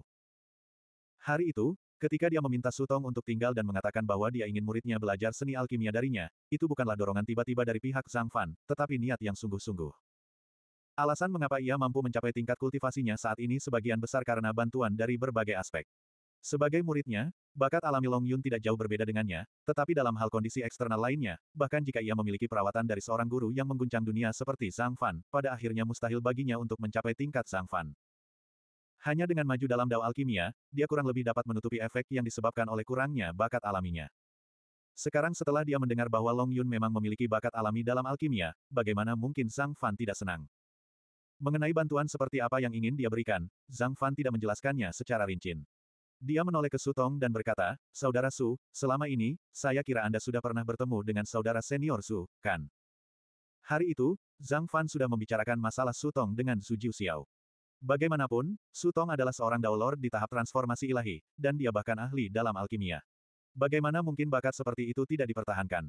Selain itu, Su Tong tidak memiliki keterikatan, jadi tidak mungkin lebih baik. Haha, mulai hari ini, aku, Su Tong, juga akan menjadi tetua tertinggi sekte karakteristik Dharma. Kau dan aku bisa saling memanggil satu sama lain, kakak senior dan adik kelas. Su Tong terkekeh dan mengatakan apa yang ingin didengar Sang Fan. Bagus, bagus, hebat sekali. Mari bersulang. Zhang Fan sangat gembira. Meskipun dia tidak tahu apa yang dilakukan Zhu Jiu Xiao, itu sudah cukup untuk melihat bahwa Su Tong jelas sangat bersedia. Dia meminumnya dalam sekali teguk, dan sisa rasanya tertinggal di mulutnya. Zhang Fan meletakkan gelas anggurnya dan mengobrol sebentar dengan Su Tong. Setelah jeda, dia tiba-tiba bertanya, Saudara Su, apakah saudara senior Su meminta Anda untuk menyampaikan pesan? Ya, ekspresi Su Tong berubah serius, dan dia berkata dengan serius, hanya dua kalimat. Yang pertama adalah empat kata, semuanya sudah siap. Untuk kalimat kedua, Su Tong menenangkan diri dan berkata perlahan, katakan pada adik Zhang, katakan saja. Aku, Zhu Jiu Xiao, sangat menantikan adegan, sejuta kultivator berkumpul di awan, menundukkan kepala dan bersujud ke arah timur. Sejuta pembudidaya berkumpul di awan, menundukkan kepala dan bersujud ke arah timur. Saat dia berkata demikian, langit dan bumi bergetar dan tiba-tiba terdengar suara guntur yang menggelegar. Ledakan. 1236. Ledakan. Suara gemuruh guntur menembus langit dan bumi, seolah-olah terkejut dan marah oleh kata-kata Zhu Jiu Xiao. Di tengah gemuruh guntur, Zhang Fan memegang panci, menuangkan anggur, dan memberi hormat dari jauh. Gerakannya lambat dan mantap, dan dia tampak sangat tenang di tengah gemuruh guntur. Jutaan pembudidaya berkumpul di awan dan membungkuk pada bunga timur. Zhang Fan tersenyum dan mengulang kata demi kata. Tiba-tiba, gelombang energi melonjak di dadanya, dan dia ingin meraung ke langit. Dalam benaknya, dia tidak dapat menahan diri untuk mengingat hari ketika dia kembali ke sekte karakteristik Dharma. Dia meminta Zhu Jiu Xiao untuk mengatur segalanya di aula warisan, dan kejadian yang mengguncang sembilan wilayah. Apa yang Zhu Jiu Xiao katakan kepadanya hari itu, tidak ada satu kata pun yang ia lupakan. Bahkan kelembutan pun tidak dapat menghapusnya. Sebaliknya, hal itu menggelegak di dalam hatinya. Saat hal itu mengendap, perlahan-lahan berubah menjadi semangat juang yang dahsyat. Waktu seakan mengalir mundur dalam ingatan Zhang Fan. Adegan hari itu muncul kembali di depan matanya. Adik Zhang, apakah kamu benar-benar ingin melakukan ini? Apakah kamu yakin akan hal itu? Tentu saja. Baiklah kalau begitu, ada beberapa hal yang harus aku sampaikan kepadamu. Senyum kecut muncul di wajah Zhu Xiao saat dia berkata perlahan, bukankah kamu bertanya padaku mengapa aku tidak menjadi seorang kultivator formasi jiwa? Aku akan beritahu kau. Bukannya aku tidak mau, bukan juga aku tidak bisa, tapi... Zhu Xiao menatap mata Zhang Fan dan berkata, iya, aku, tidak, berani. Tidak berani. Zhang Fan mula-mula tertegun, lalu ekspresinya berubah serius. Pilar menjulang tinggi sekte karakteristik Dharma, yang menekan semua sekte utama di sembilan wilayah, bahkan ketika sekte karakteristik Dharma berada pada titik terlemahnya, Zhu Xiao benar-benar mengatakan bahwa dia tidak berani. Belum lagi kenyataan bahwa tak seorang pun mampu menyebarkan perkataan itu di tempat penting seperti balai warisan, sekalipun disebarkan ke seluruh dunia, tak seorang pun akan mempercayainya. Bahkan Zhang Fan pun tidak. Namun, Zhu Xiao mengatakannya dengan sungguh-sungguh di depannya, jadi dia tidak bisa berbohong sama sekali. Kakak senior Su, tanpa menunggu dia menyelesaikan kata-katanya, Zhu Xiao sudah terus berbicara seperti senapan mesin. Seolah-olah dia telah menahan kata-katanya terlalu lama. Begitu dia berbicara, itu seperti bendungan yang jebol telah dibuka, tidak menyisakan ruang bagi Zhang Fan untuk menyela. Apakah kau tahu berapa banyak ahli transformasi jiwa yang tersisa dari sekte kita di dunia roh? Apakah kamu tahu di mana para senior formasi jiwa dari sekte karakteristik Dharma berada? Tahukah kau apa saja yang harus ditanggung oleh seorang murid sekte karakteristik Dharma untuk bisa menerobos ke alam jiwa purba? Tahukah kau apa yang harus kau pikul sebagai pemegang peta bintang siklus surgawi? Zhu Xiao berbicara dengan kecepatan yang tidak cepat maupun lambat. Kata-katanya diucapkan satu demi satu, dan kesungguhan yang tak dapat dijelaskan memenuhi aula warisan. Tak satu pun dari empat pertanyaan, tahukah Anda, masuk ke telinganya, membuat hati Zhang Fan mencelos. Ketika Zhu Xiao selesai berbicara, Zhang Fan membungkuk dengan sungguh-sungguh dan berkata dengan suara yang dalam, Zhu Xiao, mohon pencerahannya. Saya siap mendengarkan. Karena roh primordialmu sudah lengkap, inilah saatnya bagiku untuk memberitahumu. Zhu Xiao menekan emosinya dan berkata perlahan. Mendengar janjinya, semangat Zhang Fan langsung terangkat. Dia sudah lama menduga bahwa sekte karakteristik Dharma menyembunyikan sesuatu. Sebagai sekte teratas di sembilan negara, sekte yang memiliki keberuntungan puluhan ribu tahun, tidak ada daulat formasi jiwa yang benar-benar muncul, dan tidak ada berita dari dunia roh. Seolah-olah hanya ada bagan bintang siklus surgawi yang berjuang untuk mendukung kejayaan raksasa ini. Sejak Zhang Fan benar-benar melangkah ke jajaran ahli teratas di sembilan negara dan berpartisipasi dalam kompetisi, dia selalu memiliki keraguan di dalam hatinya. Di mana pun para ahli berada, apakah mereka adalah teman atau musuh sekte karakteristik Dharma, yang mereka pedulikan selalu adalah bagan bintang siklus surgawi, bukan para senior atau warisan sekte-sekte besar. Apa artinya ini? Artinya, hal-hal tersebut tidak pernah benar-benar berperan pada momen kritis, itulah sebabnya mengapa hal-hal tersebut diabaikan secara tidak sadar. Ini benar-benar berbeda dari sekte besar lainnya di sembilan negara. Setidaknya, Zhang Fan mengerti bahwa ada banyak senior Daolord formasi jiwa di sekte-sekte utama di sembilan negara yang berada di dunia roh atau hidup menyendiri di suatu dunia kecil. Mereka hanya tidak berada di dunia manusia. Jika benar-benar ada bahaya, mereka tidak akan tinggal diam dan melihat warisan sekte tersebut berakhir. Sekte karakteristik Dharma selalu bergantung pada bagan bintang siklus surgawi untuk bertahan. Justru karena bagan bintang siklus surgawi sangat kuat dan melampaui semua harta karun kuno, maka ia telah melindungi sekte karakteristik Dharma dengan kuat selama puluhan ribu tahun, itulah sebabnya ia tidak sepenuhnya terekspos ke dunia. Namun, jika dikatakan bahwa selama ini, sekte-sekte besar lainnya tidak memiliki keraguan di hati mereka, maka mereka akan meremehkan para pahlawan dunia. Hanya saja, peta bintang siklus surgawi terlalu kuat, jadi mereka tidak berani mengujinya. Saat berbagai pikiran melintas di benak Zhang Fan, suara Zhu Jiu Xiao terus terdengar. Rahasia sekte karakteristik Dharma bagaikan gulungan kuning redup yang perlahan terbuka. Di puncak sekte karakteristik Dharma, terdapat total 72 Daolord formasi jiwa, dan masing-masing dari mereka memiliki kekuatan magis yang sangat dahsyat. Kekuatan sekte karakteristik Dharma di puncaknya memang sangat mengerikan. Jika salah satu dari 72 Daolord formasi jiwa itu ditempatkan di dunia roh saat ini, mereka mungkin cukup untuk menyebabkan pertumpahan darah. Akan tetapi, bahkan Zhu Jiuxiao tidak tahu berapa banyak dari mereka yang tersisa sekarang. Namun, satu hal yang jelas, tidak ada satupun dari mereka di dunia roh. Ini jauh dari dugaan pendeta Tao dan tetuaku sebelumnya. Faktanya, Zhu Jiuxiao bahkan tidak berani memberitahunya saat dia masih dalam tahap kesempurnaan jiwa baru lahir. Itu karena terlalu berbahaya. Melemahnya fondasi sekte dan beratnya beban jauh melampaui imajinasi dan dugaan Sang Fan. Di masa lalu, 72 Daolord formasi jiwa tidak pergi begitu saja. Pada kenyataannya, mereka diasingkan dan disegel oleh seseorang. Berita ini bagaikan badai. Bahkan dengan kelicikan Zhang Fan, dia sempat terkejut sesaat. Bagaimana itu mungkin? Zhang Fan bertanya dengan tidak percaya, ke-72 Daolord formasi jiwa semuanya disegel. Siapa sebenarnya yang begitu kuat? Mengapa mereka melakukan hal itu? Mengasingkan dan menyegel 72 Daolord pembentukan jiwa adalah kekuatan terkuat dari sekte karakteristik Dharma. Itu jauh dari apa yang dapat dibandingkan dengan Daolord pembentukan jiwa biasa. Zhang Fan tidak percaya bahwa tidak akan ada bahaya yang menimpa mereka. Harganya pasti sangat mahal hingga tak terbayangkan olehnya. Dalam hal itu, apa yang terkandung di dalamnya sudah cukup untuk membuat seseorang berpikir mendalam. Aku tidak tahu. Tubuh Zhu Jiuxiao sedikit bungkuk, dan suaranya mengandung sedikit rasa sakit dan perjuangan. Aku benar-benar ingin tahu. Selama aku berhasil menembus alam itu, aku tidak hanya akan mampu melangkah ke alam panjang umur, tetapi aku juga akan memenuhi syarat untuk menyelidiki apa yang sebenarnya terjadi saat itu. Mengapa sekte karakteristik Dharma merosot dari puncaknya dan semua ahli ditawan sekaligus? Tapi, aku tidak bisa, aku tidak berani. Dengan penglihatan Zhang Fan, bahkan di aula warisan yang tiba-tiba menjadi gelap, dia masih bisa melihat dengan jelas Su Jiu Xiao mengepalkan tangannya rata-rat. Bahkan ada tetesan darah merah yang merembes keluar dari celah-celah jarinya dan menetes ke bawah. Rasa sakit dan siksaan macam apa yang bisa menyebabkan seorang ahli hebat seperti Su Jiu Xiao merasakan sakit seperti itu. Warisan sekte karakteristik Dharma selama puluhan ribu tahun, kehidupan puluhan ribu murid. Aku tidak mampu berjudi, dan aku juga tidak berani berjudi. Suara tua dan menyakitkan Zhu Jiu Xiao bergema di aula warisan. Orang bisa bayangkan jika tidak ada bintang baru yang bersinar dalam sekte tersebut untuk mengambil alih perlindungan sekte karakteristik Dharma dari tangannya dan memastikan warisan sekte tersebut, Zhu Jiu Xiao tidak akan mengambil langkah itu bahkan jika dia harus bertahan sampai umurnya habis. Kakak senior Su. Zhang Fan berdiri dan menarik napas dalam-dalam. Perkataan Zhu Jiu Xiao tadi bagaikan gunung yang menekan hatinya, membuatnya sulit bernapas. Ini adalah pertama kalinya dia mendengarnya, tetapi dia sudah dalam keadaan seperti itu. Siksaan macam apa Zhu Jiu Xiao, yang harus menanggung rahasia seperti itu sendirian selama ratusan dan ribuan tahun. Zhang Fan ragu sejenak dan tidak mengatakan sepatah kata pun untuk menghiburnya. Orang macam apa Zhu Jiu Xiao itu? Mengapa dia membutuhkan orang lain untuk menghiburnya? Setelah beberapa saat, Zhu Jiu Xiao berdiri dengan gemetar dan berjalan ke depan peta bintang siklus surgawi.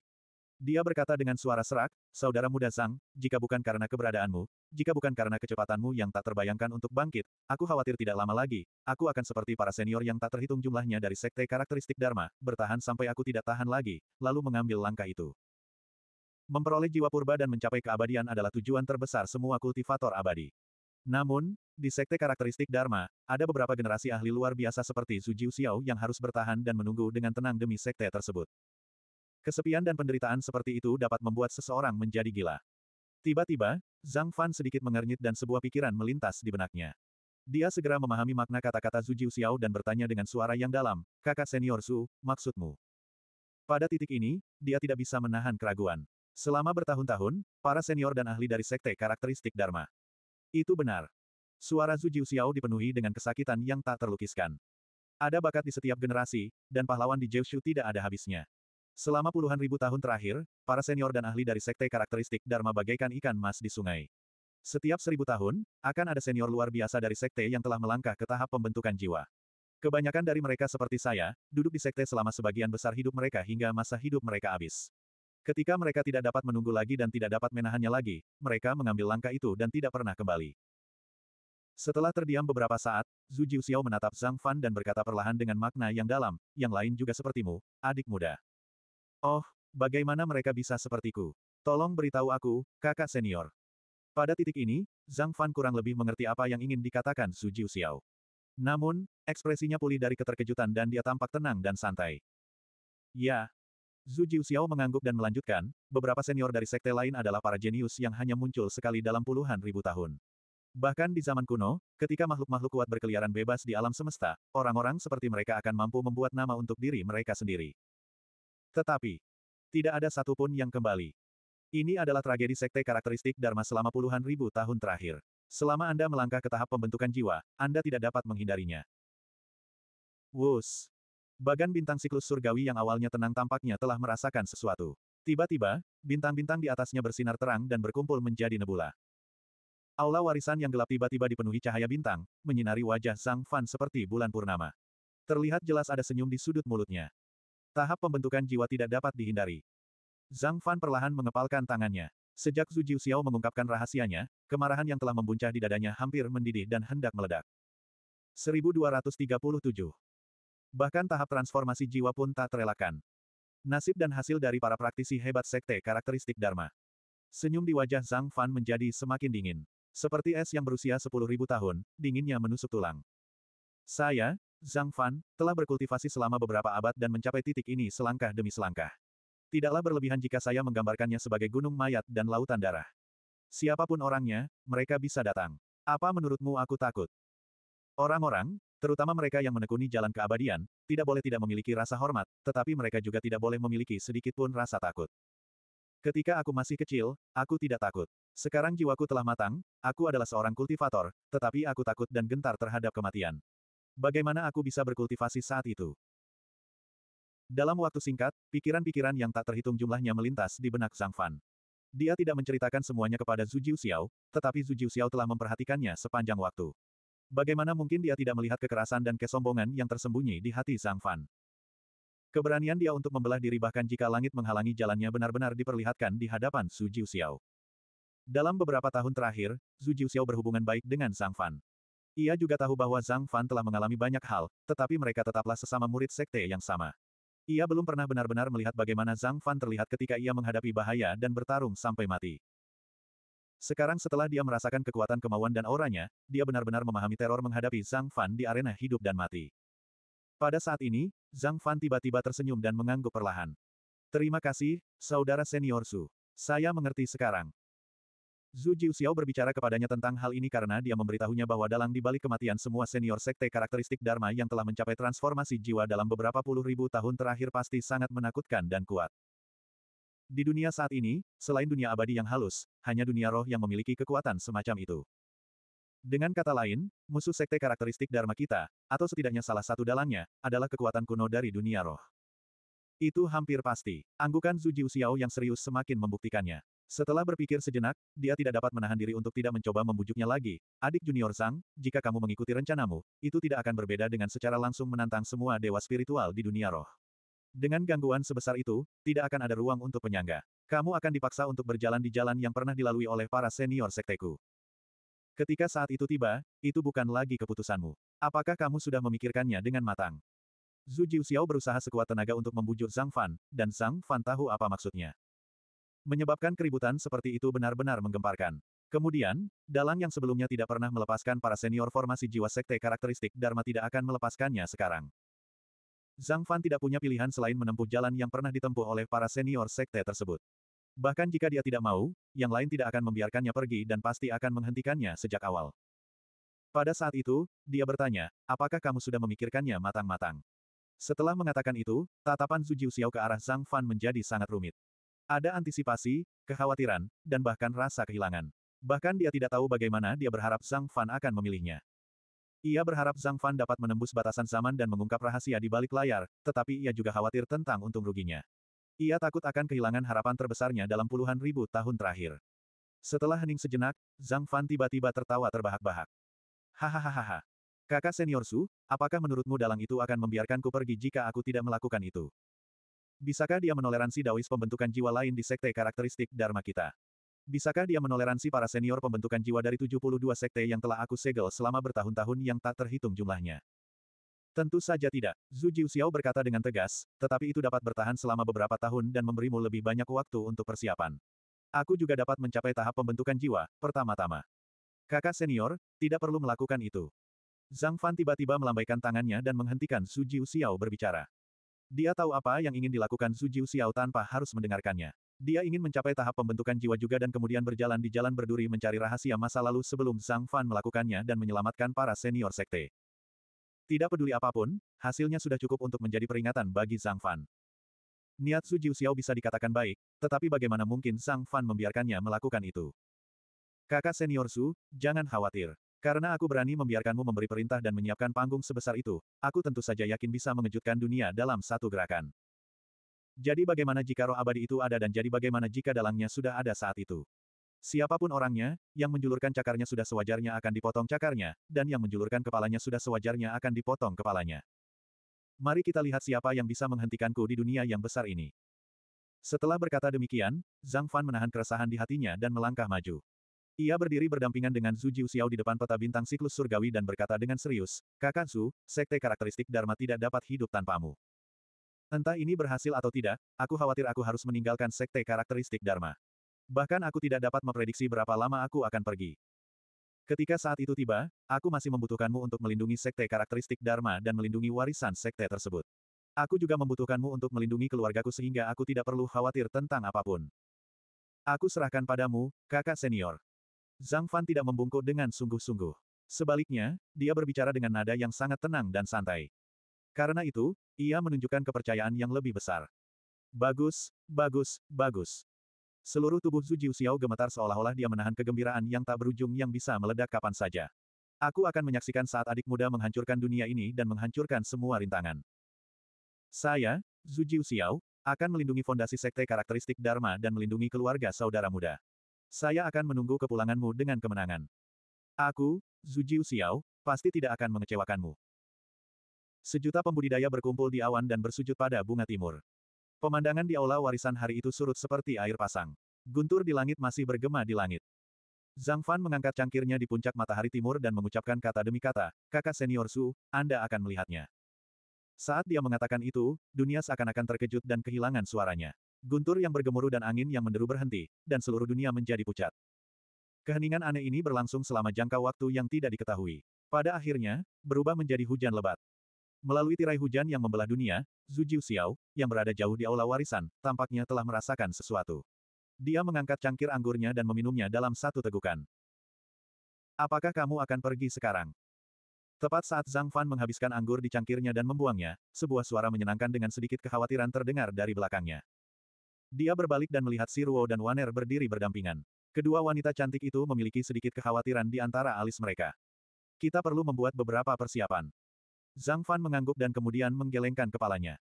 Si Ruo dan Waner tahu bahwa Zhang Fan harus tinggal di sekte karakteristik Dharma setidaknya selama tiga tahun.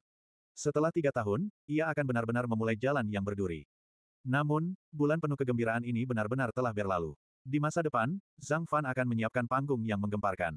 Dengan sejuta kultivator sebagai latar belakang dan semua pembangkit tenaga listrik di dunia sebagai bidak catur, ia akan menggelar pertunjukan yang akan mengguncang tiga alam. Memikirkan hal ini, Si Ruo dan Waner tidak dapat menahan perasaan sedih. Mereka ingin mengatakan sesuatu tetapi tidak bisa. Pada saat inilah keduanya tampak sangat serasi, seperti sepasang saudara perempuan yang cantik. Penghalang samar di antara mereka pun menghilang. Jika sebulan yang lalu seseorang berkata bahwa ia bahagia karena pria yang sama, maka di hari-hari berikutnya, ia harus mengkhawatirkan pria yang sama. Adik Zhang benar-benar hebat. Su Tong yang menonton dari samping memuji dalam hatinya. Meskipun Su Waner adalah juniornya, mereka terpisah oleh banyak generasi dan mereka bahkan belum pernah bertemu satu sama lain. Akan menjadi kebohongan besar jika mengatakan bahwa mereka memiliki perasaan yang mendalam satu sama lain. Oleh karena itu, Su Tong tidak punya pikiran untuk membela Waner, sebaliknya dia sangat mengagumi Zhang Fan. Kepribadian Si Ruo dapat dilihat dari generasi iblis baru, Yu Yu. Bagi Zhang Fan yang mampu membuatnya menerima Wan Er dan bergaul baik dengannya, Su Tong mengaguminya dari lubuk hatinya. Selain Su Tong, Zhang Fan tidak punya pilihan selain pergi. Panggung telah disiapkan dan dia, sebagai tokoh utama, bersiap untuk naik ke atas panggung. Dia menarik napas dalam-dalam dan mengangguk pada kedua wanita itu, jangan khawatir, aku akan kembali. Kemudian, Zhang Fan tersenyum meminta maaf dan berjalan keluar halaman selangkah demi selangkah. Di belakangnya, Si Ruo dan Waner berpegangan tangan erat-erat dan menatap Zhang Fan dengan cemas saat mereka pergi. Mereka berdua mengerti bahaya macam apa yang menanti Zhang Fan setelah dia pergi. Sebagai seorang pengamat, Su Tong tidak akan pernah mengerti apa yang dipikirkan Si Ruo dan Wan Er saat ini. Bahkan Si Ruo, yang sangat ia waspadai, telah melupakan segalanya saat ini. Ia hanya ingat bahwa ia adalah pendamping Dao dari pria yang perlahan menghilang di kejauhan dan akan melakukan sesuatu yang menggemparkan. Ia ingin pria itu tidak perlu khawatir. Melangkah keluar dari halaman kecil itu, tidak peduli seberapa lambatnya dia berjalan, dia hanya butuh beberapa saat. Namun di mata Sirwo dan yang lainnya, waktu yang singkat ini terasa seperti selamanya. Tepat saat Zhang Fan hendak melangkah keluar dari halaman, dia berhenti. Dia tidak menoleh dan hanya berbicara dengan suara lembut, jaga dirimu, jaga kakek. Juga, aku meninggalkan sesuatu di kamarmu. Aku harap kamu menyukainya. Begitu dia selesai berbicara, dia melambaikan lengan bajunya dan sosok Zhang Fan sepenuhnya menghilang dari pandangan semua orang. Saat dia melangkah keluar dari halaman, profil sampingnya yang terlihat oleh semua orang adalah sosok yang penuh tekad. Semua kelembutannya telah hilang, dan yang tersisa hanyalah aura yang mendominasi. Tuan Donghua Dao. Sesaat kemudian, di kamar masing-masing, air mata yang selama ini ditahan Si Ruo dan Waner akhirnya mengalir di pipi mereka seperti mutiara. Di depan Si Ruo, lonceng giok adalah liontin, pedang dewa adalah pegangan, dan guntur adalah rumbai. Sebuah ornamen kecil yang tampak seperti bisa digantung di pinggangnya dan dipegang di tangannya tergeletak dengan tenang di tempat tidurnya. Di tangan Waner, ada seruling giok emas muda yang tergeletak datar. Setiap kali angin bertiup, suara merdu akan keluar dari setiap lubang pada seruling itu. Aku tidak meminta apa pun, aku hanya ingin kamu aman. Setelah hari itu, tanah Provinsi Qin yang tadinya tenang kini menjadi tenang kembali, dan dunia sembilan negara pun menjadi riuh. Pegunungan Lianyun, tempat sekte karakteristik Dharma Provinsi Qin, sekte teratas dari sembilan negara, berada, tiba-tiba bersinar dengan jutaan sinar cahaya keemasan, menyelimuti seluruh pegunungan. Kekuatannya yang mengerikan bahkan lebih kuat daripada susunan pelindung gunung yang telah disegel oleh sekte karakteristik Dharma di gunung tersebut selama seratus tahun, mengisolasi seluruh pegunungan Lianyun dari seluruh dunia. Di atas cahaya keemasan yang mengisolasi segalanya, hamparan awan kuning tua yang luas menjulang dan berkumpul, seakan-akan ada sesuatu yang terus-menerus naik. Di dalam awan kuning, terpancar kekuatan yang tak tertandingi. Kekuatan itu sangat menakutkan, seolah-olah kekuatan itu bukan milik dunia manusia. Itu benar-benar perasaan menindas yang seharusnya hanya dimiliki oleh makhluk abadi. Dengan kembalinya Zhang Fan, sekte karakteristik Dharma berada di puncak kejayaannya, jadi wajar saja jika mereka tidak mungkin menutup gunung itu.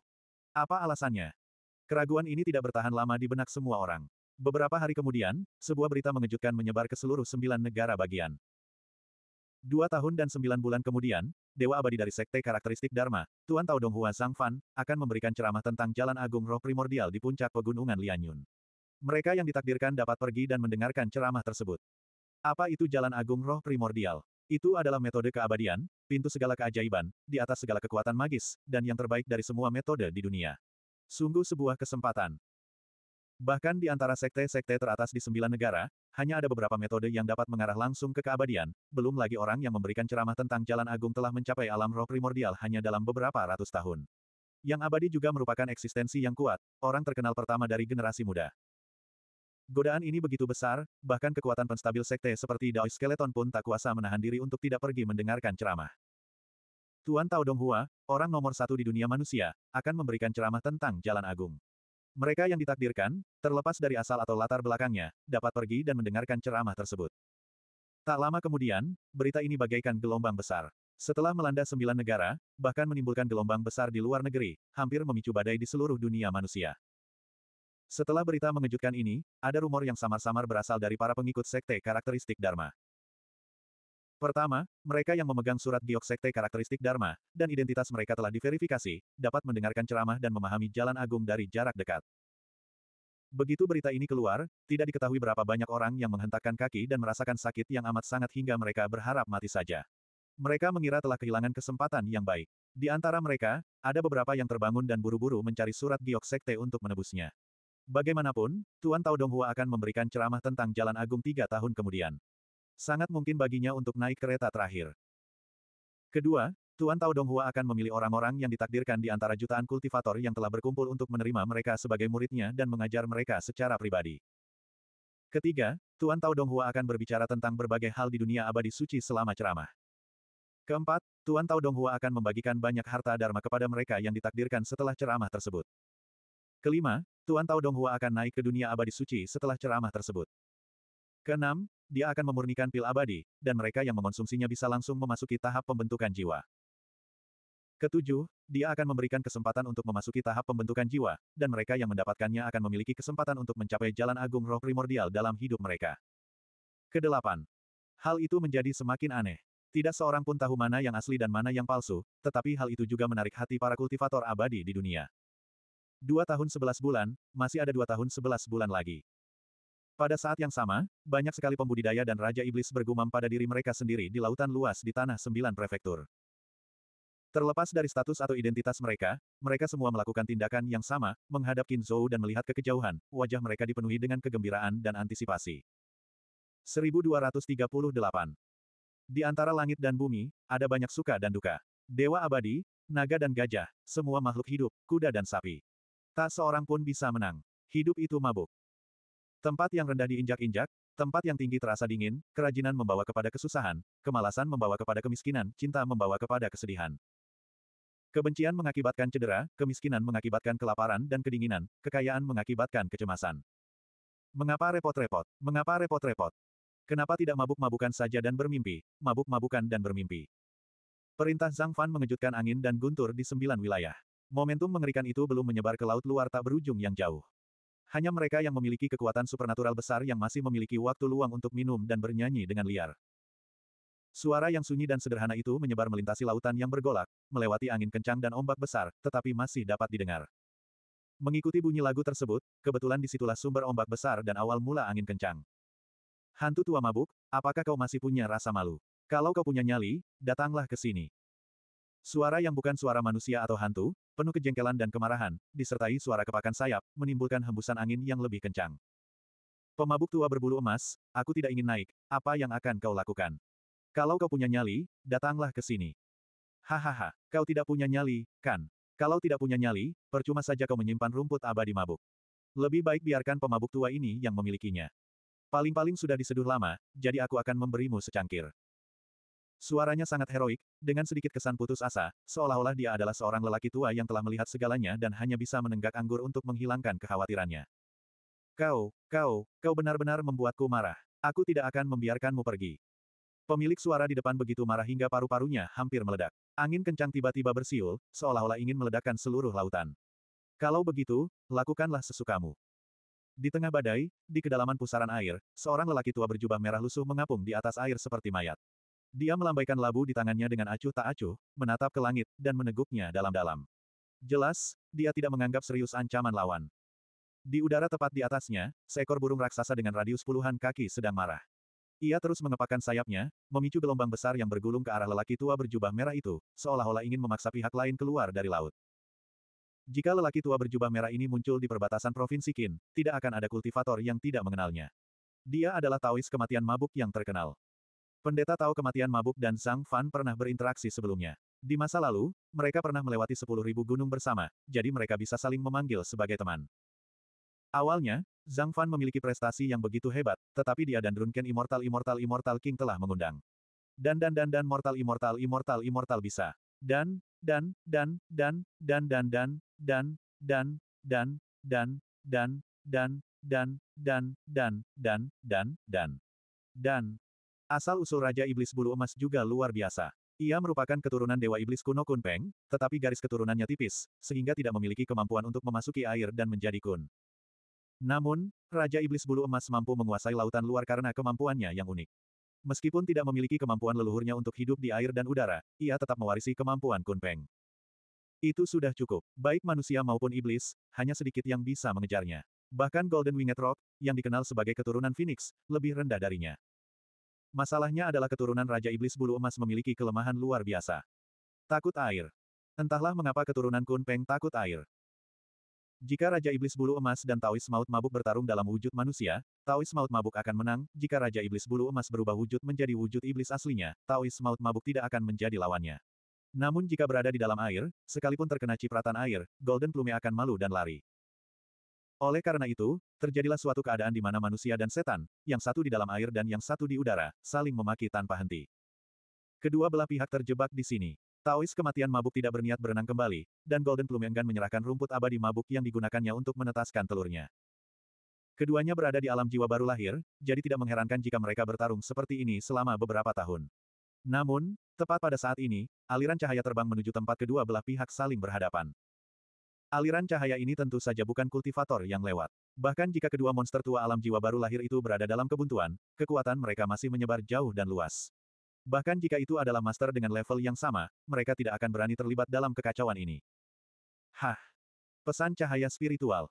Yang datang adalah pesan cahaya spiritual, sesuatu seperti pedang terbang. Itu jarang digunakan kecuali jika mendesak. Dalam radius ribuan mil, hanya Taois kematian mabuk dan Raja Iblis Bulu Emas yang saling berhadapan.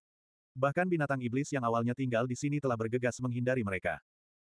Bisa dibayangkan kalau ini pasti ditujukan pada Taois Maut Mabuk atau Raja Iblis Bulu Emas. Saat pesan cahaya spiritual mendekat, ada cahaya bintang yang bersinar di atasnya. Tidak ada aura iblis, tetapi tampak murni dan luas. Terlepas dari apa pun, hanya dengan merasakan aura ini, tidak sulit untuk mengetahui bahwa aura itu akan datang pada Taois kematian mabuk. Raja Iblis Bulu Emas bukanlah orang yang saleh, jadi dia tidak dapat melepaskan pesan cahaya spiritual yang begitu kuat. Oh tidak. Ini Peri Singlan. Apakah ada sesuatu yang mendesak? Wajah Taois kematian mabuk menjadi gelap, dan auranya yang tidak terkendali tiba-tiba menghilang.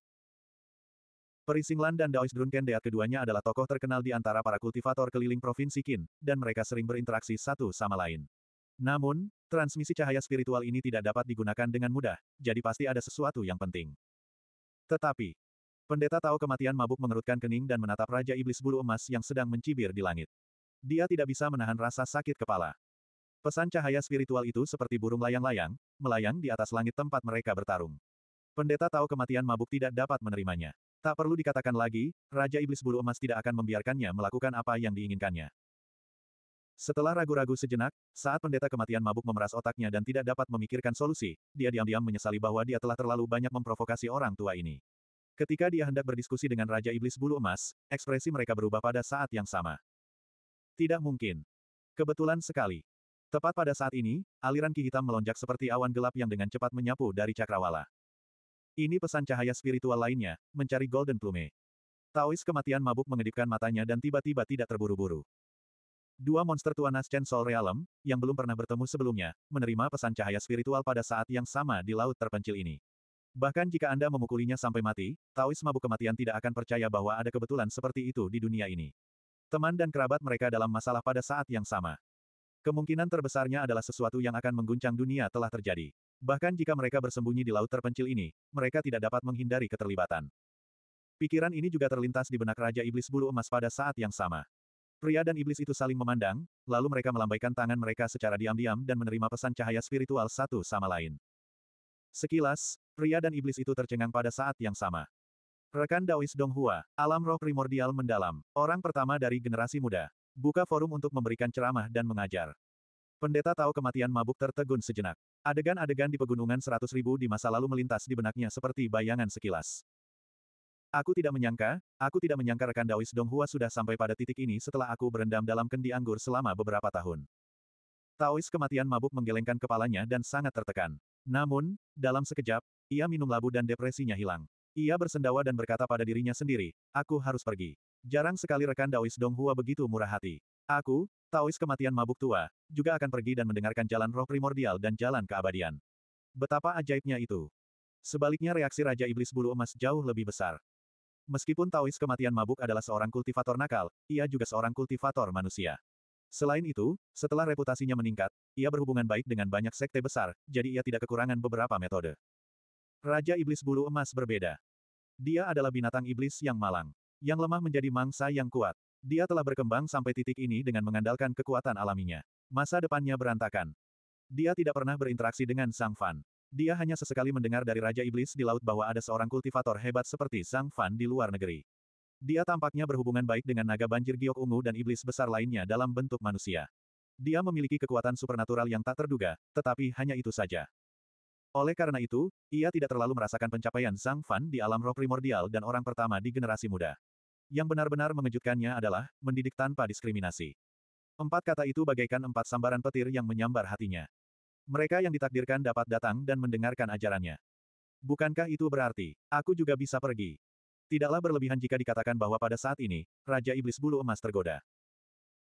Sejujurnya, jika tidak ada kata-kata seperti itu, tidak peduli seberapa tergodanya dia, dia tidak akan berani menginjakan kaki di tanah sembilan prefektur.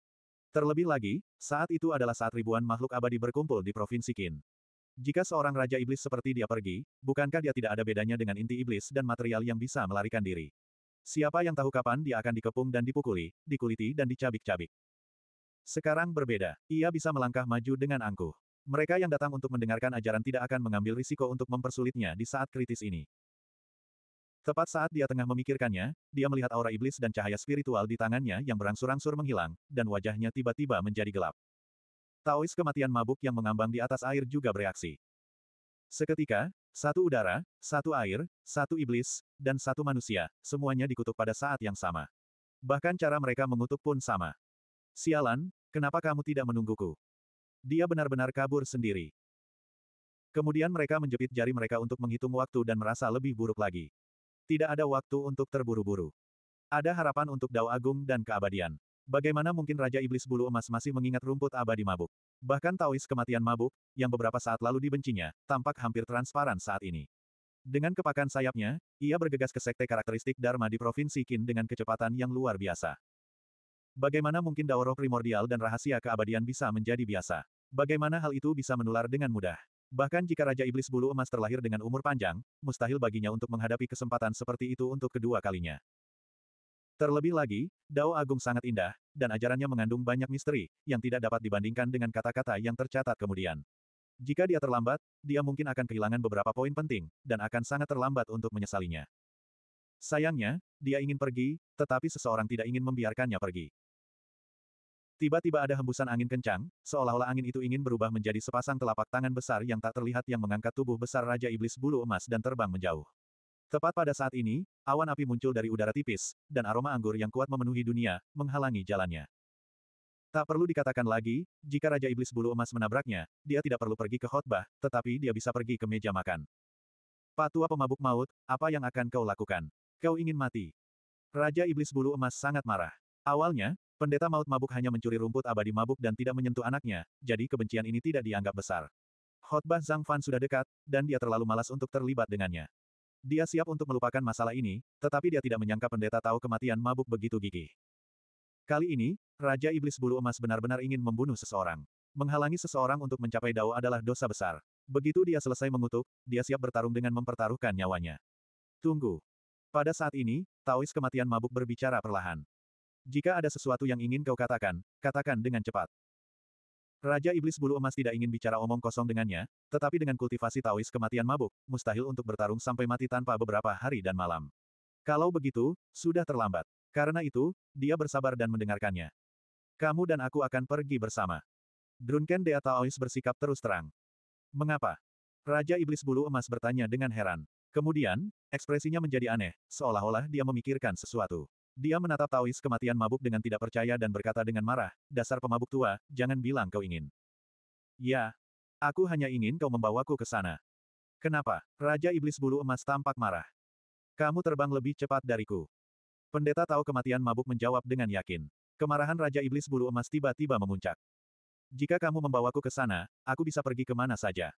Kalau tidak, hehe. Pendeta tahu kematian mabuk bahkan tidak melihat Raja Iblis Bulu Emas yang marah. Dia hanya tertawa aneh, mengangkat lehernya dan meminum labu lagi. Dia sangat bahagia.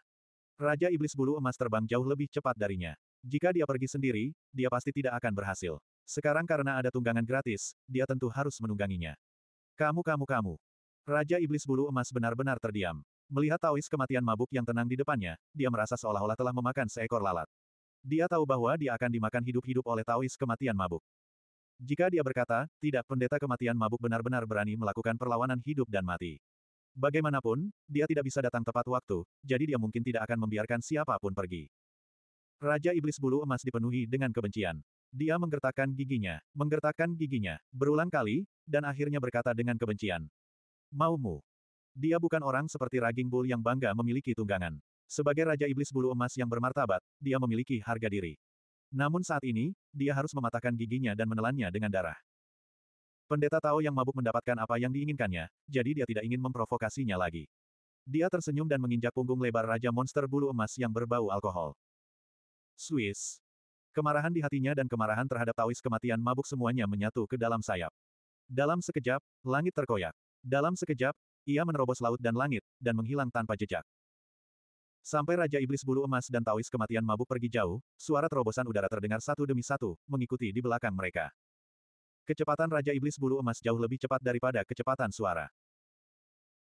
Semenjak tersiar kabar bahwa Zhang Fan akan memberikan ceramah tentang Dao Besar Jiwa Purba di luar sekte karakteristik Dharma di Pegunungan Lianyun dan langsung menuju pintu keabadian, banyak orang seperti pendeta tahu kematian mabuk dan Raja Iblis Bulu Emas, yang dulunya merupakan musuh bebuyutan, kini bepergian berdampingan.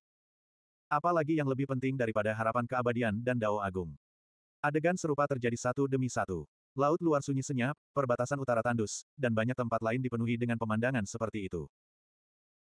Tiga hari kemudian, ledakan tawa aneh terdengar dari laut angin iblis. Tawa itu penuh dengan luapan amarah di dadanya. Pikirannya jernih dan seluruh tubuhnya terasa nyaman. Pemabuk tua, kau bisa berendam saja di air sialan itu, aku akan pergi. Juga. Suara itu baru saja terdengar, langit sudah terkoyak. Tubuh besar Raja Iblis Bulu Emas langsung melesat pergi, meninggalkan Tawis kematian mabuk yang mengutuk jatuh dari langit. A red cloud appeared out of thin air, supporting the body of the drunken Deataois. Like a floating boat in the sea, it floated in the strain wind of the demonic wind sea. The golden plume demon king Madeuse of the strain wind of the demonic wind sea to successfully plot against the drunken Deataois. It could be considered as venting the anger in his chest. He didn't have to bring the drunken Deataois to Kin province as amount, he couldn't afford to lose face. Hey, that federate beast, do you think that he, the drunken Deataois, I'm not prepared. The drunken Deataois smiled strangely and sent out a ring with his fingers, as if he was toasting in the void.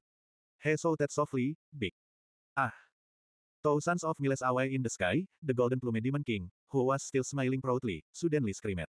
His body fell from the sky and smashed straight into the sea. The culprit was a small particle in his feathers. With the help of the drunken Deatawal spell, it expanded rapidly and finally became a huge god the size of a small mountain, smashing him into the water. He didn't know when drunken Deataois did something to his back. He fell into the water that he was most afraid of and directly became a drowned rat. The golden plume demon king could be considered to have suffered a huge loss. How can he not be on guard against you, hehehe. The drunken Deataois smiled proudly, but he didn't go to find trouble with the drowned rat. He thought about it for a while and flew in a certain direction. Ivagueli remembered that there seems to be a teleportation array. In the blink of an eye, a whole seven days had passed. After seven days of seeming against each other on the demonic wind sea, Daoist drunken death finally appeared on Aloni Island in the sea to the east of the Qin province. Bah, bah, bah, such a good teleportation array, but there is not even a shadow. I'm so angry. The drunken Deataois was in a sorry state at this time. His face was covered in dirt. Looking at his appearance, it seemed to be much more miserable than fighting with the Golden Plume Demon King. Seven days ago, he found the teleportation array, but it was like it was stolen. The place where the small hidden market was located was empty.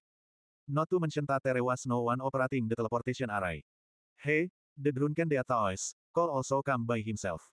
However, he didn't know whether there were too many people who don't like him or what was going on. The teleportation array was actually broken by someone, and no one repaired it. It was actually unusable. How could this be? The drunken Deataois was depressed. He could only repair it himself. However, his cultivation in the array was only ordinary. It took him a whole seven days to barely use it. This. Itu hanya barang sekali pakai. Saat ini, susunan teleportasi asli yang telah hancur menjadi bubuk di bawah kakinya adalah buktinya.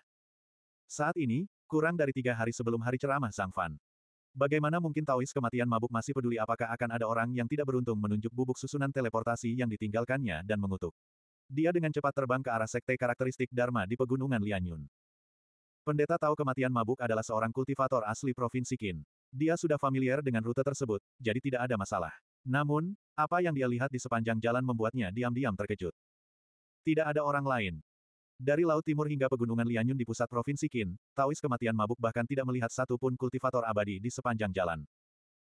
Sang Taois kematian mabuk akhirnya mengerti apa yang dimaksud dunia sekuler ketika mereka mengatakan bahwa semua orang di jalan keluar pada hari itu.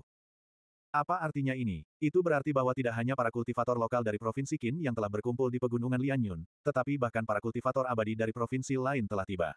Itulah sebabnya ada situasi di mana tidak ada seorang pun kultivator di sepanjang jalan. Ya Tuhan, mungkinkah sudah terlambat?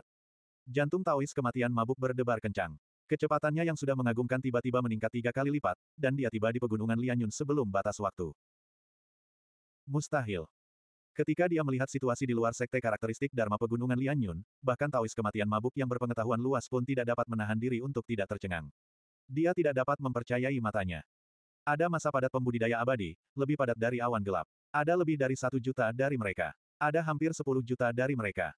Sejak kapan penggarap abadi sebanyak sayuran liar? Mereka berkisar dari kultivator kecil di tingkat pertama atau kedua pemurnian Ki hingga puncak alam Naschen Sol. Mereka adalah makhluk mistis kelas atas yang dapat mengamuk di sembilan wilayah. Di sebelah kiri adalah dao abadi dari sembilan wilayah, dan di sebelah kanan adalah sekte-sekte yang tidak ortodoks. Ada kelompok manusia abadi di depan, dan Raja Iblis di belakang. Frasa, pendidikan tanpa diskriminasi, tidak diucapkan begitu saja, dan daya tarik jalur roh primordial bukanlah sesuatu yang dilebih-lebihkan. Di antara para pembudidaya abadi yang padat, ada manusia dan iblis, kuat dan lemah, benar dan jahat. Sebuah jaring dilemparkan untuk mengalahkan semua makhluk abadi di dunia. Tiba-tiba, sosok yang dikenalnya muncul di mata pendeta tahu kematian mabuk.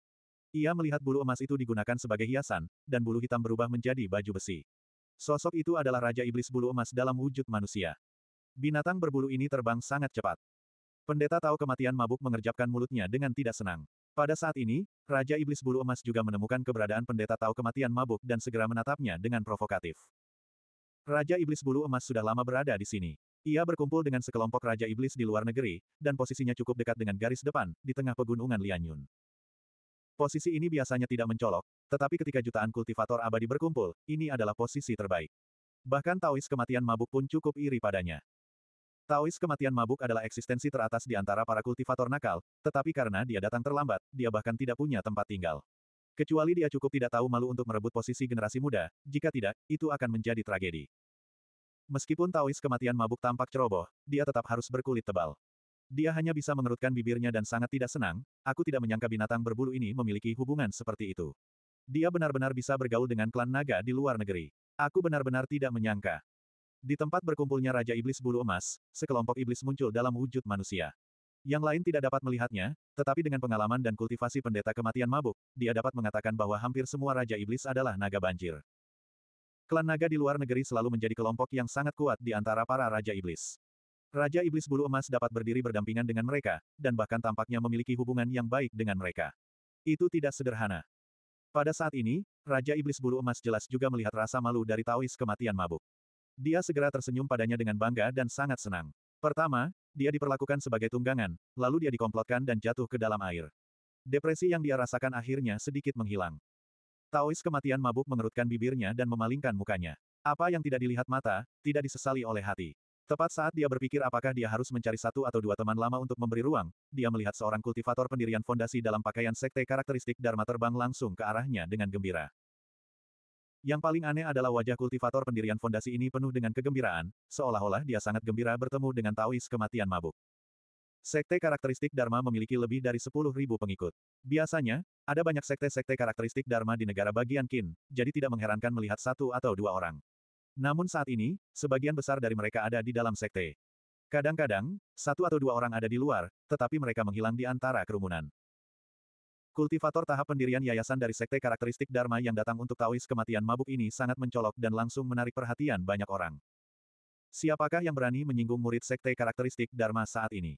Kapan pun kultivator pendirian fondasi lewat, para kultivator abadi yang tengah menunggu ceramah Dao akan secara otomatis memberi jalan untuknya. Anda. Ketika kultivator pendirian yayasan mendekat, sebelum Daois Drunkendeat sempat mengajukan pertanyaan, kultivator pendirian yayasan itu membungkuk dan berseru, akhirnya aku menemukanmu, senior. Sudah lama sekali aku tidak menemukanmu. Keluhan dalam suaranya tidak perlu disebutkan. Mencari aku, mengapa? Sebelum Taois kematian mabuk bisa kembali sadar, kultivator pendirian fondasi buru-buru mengeluarkan sebuah benda dari dadanya dan menyerahkannya dengan kedua tangan. Bingung, pendeta tahu kematian mabuk itu melihat dan ternyata itu adalah surat giok. Bagian depannya tercetak gambar 10.000 setan yang meraung dan bintang-bintang di langit. Surat giok sekte karakteristik Dharma.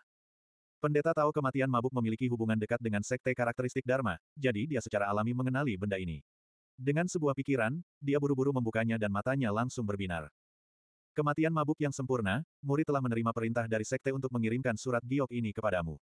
Ketika guru leluhur berceramah tentang Dao, kalian dapat maju untuk mendengarkan dan membahas Dao Agung bersama-sama.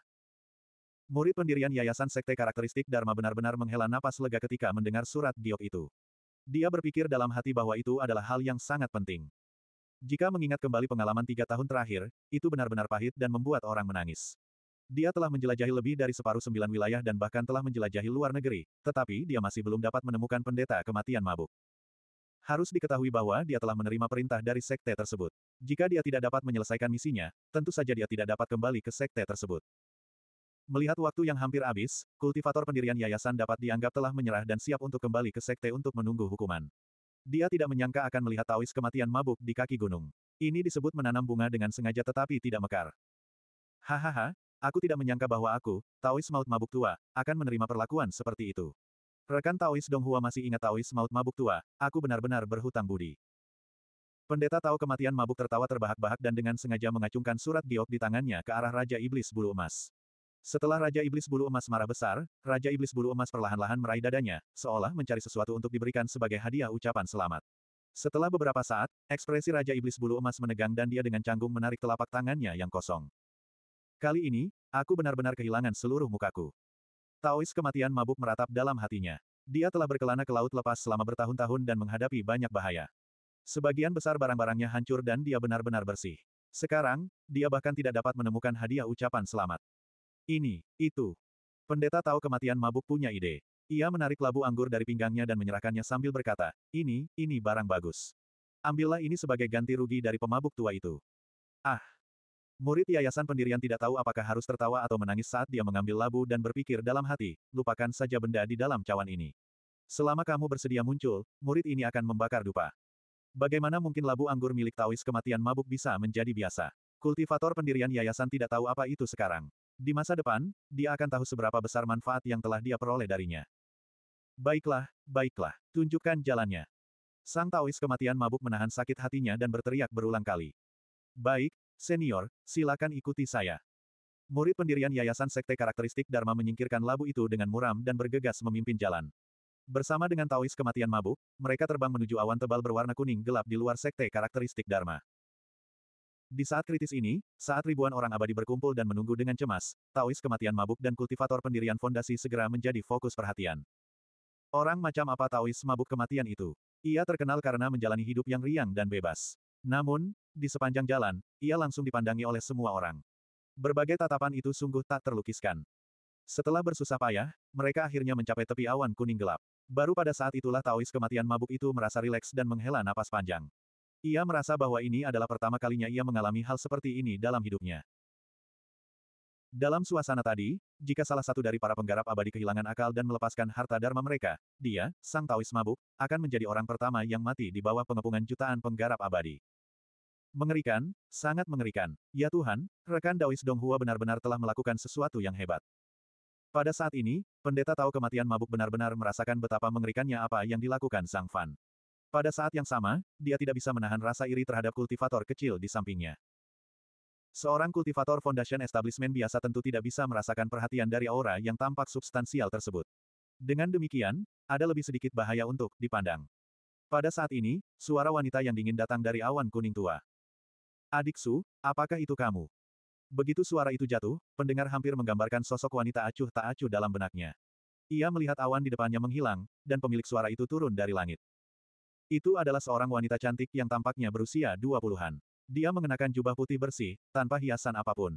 Dia tidak memiliki satu pun hiasan pada tubuhnya, hanya bulu golden crow yang terbungkus api emas yang tergantung di pinggangnya, dan rambut hitamnya yang indah dijepit dengan jepit rambut cendana. Dia tidak datang sendirian. Sebaliknya, kakinya tidak menginjak tanah. Dia duduk menyamping di atas kilin yang bersinar karena air. Kilin air sangat perkasa, dan auranya juga kuat. Bahkan Taois kematian mabuk diam-diam memujinya saat melihatnya. Namun, tidak seorang pun menyadari bahwa saat matanya melirik Taois kematian mabuk, ia diam-diam tersentak. Itu adalah kilin air yang pemalu, putra naga banjir giok ungu, Long Fuhai. Jadi, ini Nona Long, Er. Sudah lama aku tidak bertemu denganmu, dan kultivasimu semakin meningkat. Kau hampir bisa mengejar orang tua ini. Generasi muda akan melampaui kita pada waktunya. Pendeta tahu kematian mabuk tertawa terbahak-bahak dan tidak mengeluarkan hadiah ucapan selamat. Belum lagi dia tidak membawa barang berharga, bahkan jika dia membawa barang berharga, wanita di depannya tidak akan menganggapnya serius. Siapa ini? Dia adalah murid pertama sejati Zhang Fan, Long, Er yang secara pribadi telah dibantu Zhang Fan untuk dimiliki dan diterima sebagai murid. Setelah sekian tahun, waktu seakan tak meninggalkan jejak padanya. Ia masih dingin dan riang, seakan tak ada pria di dunia ini yang layak mendapatkan perhatiannya. Ketika pendeta tahu kematian mabuk menjadi tamu di sekte karakteristik Dharma, dia juga pernah melihat murid pertama Dong Hua ini. Wanita yang unik seperti itu tentu saja tidak akan terlupakan, jadi tidak mengherankan jika dia mengenalinya sekilas. Hem, pendeta tahu kematian mabuk tiba-tiba bereaksi dan menoleh ke arah penggarap pendirian Yayasan Sekte Karakteristik Dharma yang tampak biasa saja. Nona Long, Er baru saja memanggilnya adik junior. Apakah dia juga murid klan Dong Hua? Bagaimana mungkin seorang kultivator pendirian fondasi biasa layak menjadi murid orang nomor satu yang tersembunyi di dunia, Dao Lord Dong Hua? Perlu diketahui bahwa di antara tiga murid utama Zhang Fan, Yu Yu dan Long, Er sama-sama berada di tahap awal Naschen Sol. Meskipun mereka diberkati oleh alam dan masing-masing memiliki pertemuan kebetulan mereka sendiri, mereka tidak dikenal oleh orang luar. Itu hanya membuat orang merasa bahwa mereka memang murid klan Dong Hua. Adapun Long Yun, yang dianggap sekokoh gunung dan memiliki sikap seperti murid pertama, dia telah lama berada di puncak alam formasi inti. Dia hanya selangkah lagi untuk memasuki alam jiwa baru lahir. Apa yang terjadi dengan orang di depannya? Meskipun dia berada di puncak alam Foundation Establishment, itu saja. Tidak ada yang istimewa darinya. Junior Su Cheng memberi salam kepada Grandmaster Long. Berbeda dengan Long, Er yang menyebut dirinya kakak senior dan kakak muda, pria yang menyebut dirinya Su Cheng memberikan penghormatan kepadanya. Melihat ini, Long, Er sedikit mengernyit dan berkata, Saudara muda Su, kamu adalah murid terdaftar guru. Kita juga sesama murid dari sekte yang sama. Tidak perlu melakukan ini. Setelah itu, dia menjentikkan lengan bajunya dan Su Cheng berdiri tanpa sadar. Dia tersenyum pahit dan berkata, saat itu, guru telah memberitahu Su Cheng bahwa jika aku dapat mencapai puncak alam inti emas, guru akan secara resmi menerimaku sebagai murid. Ketika saatnya tiba, aku secara alami akan memanggil Grandmaster Long, Er sebagai kakak perempuan senior. Long, Er menggelengkan kepalanya dan tidak memaksanya. Dia berkata dengan ringan, kamu memang keras kepala, tapi tidak apa-apa. Karena guru sedang menjelaskan jalan roh primordial, tidak akan sulit bagimu untuk menembus alam formasi inti dan secara resmi bergabung dengan sekte. Kemudian, dia tersenyum pada Taois kematian mabuk dan berkata, Senior, kita sudah lama tidak bertemu. Guru pernah mengatakan kepada Long, Er bahwa dia takut senior tidak akan bisa datang ke pertemuan ini.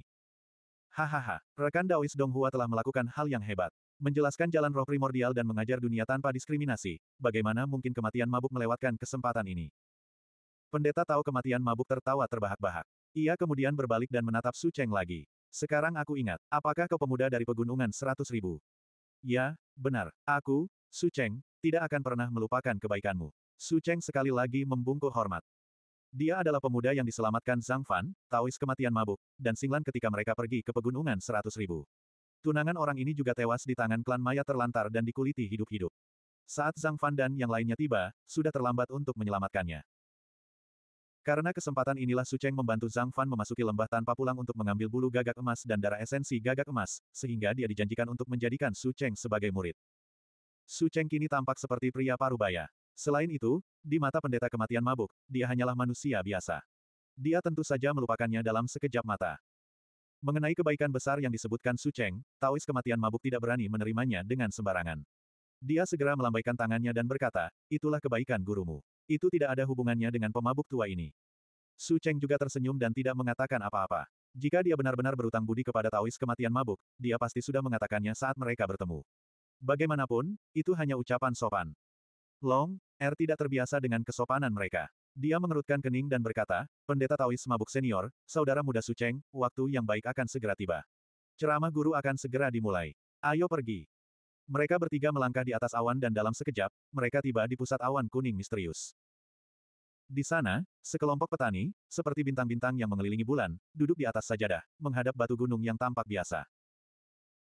Di antara para kultivator ini, ada Zhu Jiu Xiao, Feng Jiuling, dan pilar-pilar lain dari Sekte Karakteristik Dharma, para ahli teratas dari sembilan wilayah, serta kerabat dan murid seperti Long, Er dan Yu Yu. Di antara mereka, tidak ada kekurangan orang-orang seperti Taois kematian mabuk yang mengenal Zhang Fan. Di atas batu gunung, sebuah sajadah ungu sederhana diletakkan dengan tenang. Di sampingnya terdapat pembakar dupa perunggu, dengan asap hijau mengepul di sekitarnya dan aroma lembut yang meresap ke dalam jiwa seseorang. Tidak ada seorang pun di atas sajadah, tetapi tidak sulit bagi siapa pun untuk memahami bahwa ketika Zhang Fan muncul di sajadah, sudah waktunya ceramah dimulai. Dengan pengertian diam-diam, Long, Er, Drunken Dea Taois, dan Su Cheng masing-masing menemukan tempat duduk sesuai status mereka. Selama seluruh proses, mereka tidak mengeluarkan suara sedikit pun. Bahkan yang lain, meskipun mereka berhubungan baik dengan Drunken Taoist, tidak menyapa mereka. Paling-paling, mereka hanya mengangguk sedikit. Semua orang diam menunggu saat itu tiba. Waktu berlalu sedikit demi sedikit. Di dalam dan di luar awan kuning, jutaan kultivator menantikannya. Tiba-tiba, tanpa peringatan, tiga lonceng berdentang bergema di seluruh tiga alam. Dong, dong, dong. Tiga lonceng Dong Huang mengguncang langit, bumi dan manusia. Semua orang, terlepas dari tingkat kultivasi mereka, tidak dapat menahan diri untuk tidak terhanyut ketika mendengar lonceng Dong Huang yang menembus tiga alam. Ketika mereka terbangun, sebuah suara yang jelas terdengar di telinga mereka. Saya telah berkultivasi selama ratusan tahun, dari seorang anak kecil hingga alam roh primordial. Bukankah merupakan suatu berkah jika memiliki umur panjang? Segala sesuatu di dunia ini menyehatkan manusia, dan takdir berpihak pada berkah kekuatan hidup. Semua hal ini telah menjadikan saya seperti sekarang ini. Hati Dao itu tulus, dan Dao surgawi itu adil. Menggunakan hati manusia untuk mengukur hati surgawi, menggunakan tubuh manusia untuk menyesuaikan diri dengan Dao surgawi, bagaimana mungkin aku tidak membalas langit dan bumi dengan apa yang telah aku pelajari? Apa yang dicintai langit dan bumi tak lain hanyalah makhluk hidup, dan apa yang dicari makhluk hidup tak lain hanyalah umur panjang. Hari ini, aku akan mendirikan Istana Timur untuk berbicara tentang Jalan Agung Roh Primordial, membuka pintu menuju umur panjang, dan menyelamatkan semua takdir. Suara Zhang Fan seakan datang dari kehampaan, tetapi juga terdengar seperti berasal dari kedalaman jiwa ilahi. Suaranya misterius, dan langsung membawa jutaan kultivator ke dalam suasana misterius. Jalan kultivasi adalah tentang menerima, menerima, dan berjuang. Namun, ketika sampai pada titik ekstrim, ia berubah menjadi memberi, memberi, dan memberi. Ceramah sesungguhnya belum dimulai, tetapi kata-kata Zhang Fan telah membuat banyak orang yang telah menyentuh ambang pintu merasa tercerahkan. Ketika mereka sadar kembali dan mendongak, mereka melihat Zhang Fan sudah duduk di futon di atas batu gunung. Dao itu misterius, dan Dharma itu misterius. Jalan menuju umur panjang, jalan agung roh primordial, dua kata itu adalah Wu Fei Dao dan Dharma. Duduk tinggi di atas awan, Zhang Fan tidak mengatakan hal yang tidak perlu. Dia mengucapkan setiap kata dengan perlahan. Bersamaan dengan suaranya, bunga teratai emas muncul dari udara tipis, mengangkat Zhu Jiu Xiao, Feng Jiuling, Taois kematian mabuk, dan para kultivator lainnya yang telah duduk di awan kuning sebelum ceramah dimulai. Bunga teratai itu perlahan mengangkat mereka. Selama seluruh proses ini, mereka semua tenggelam dalam semacam keadaan yang sangat mendalam, dan tak seorang pun dari mereka benar-benar membuka mata mereka.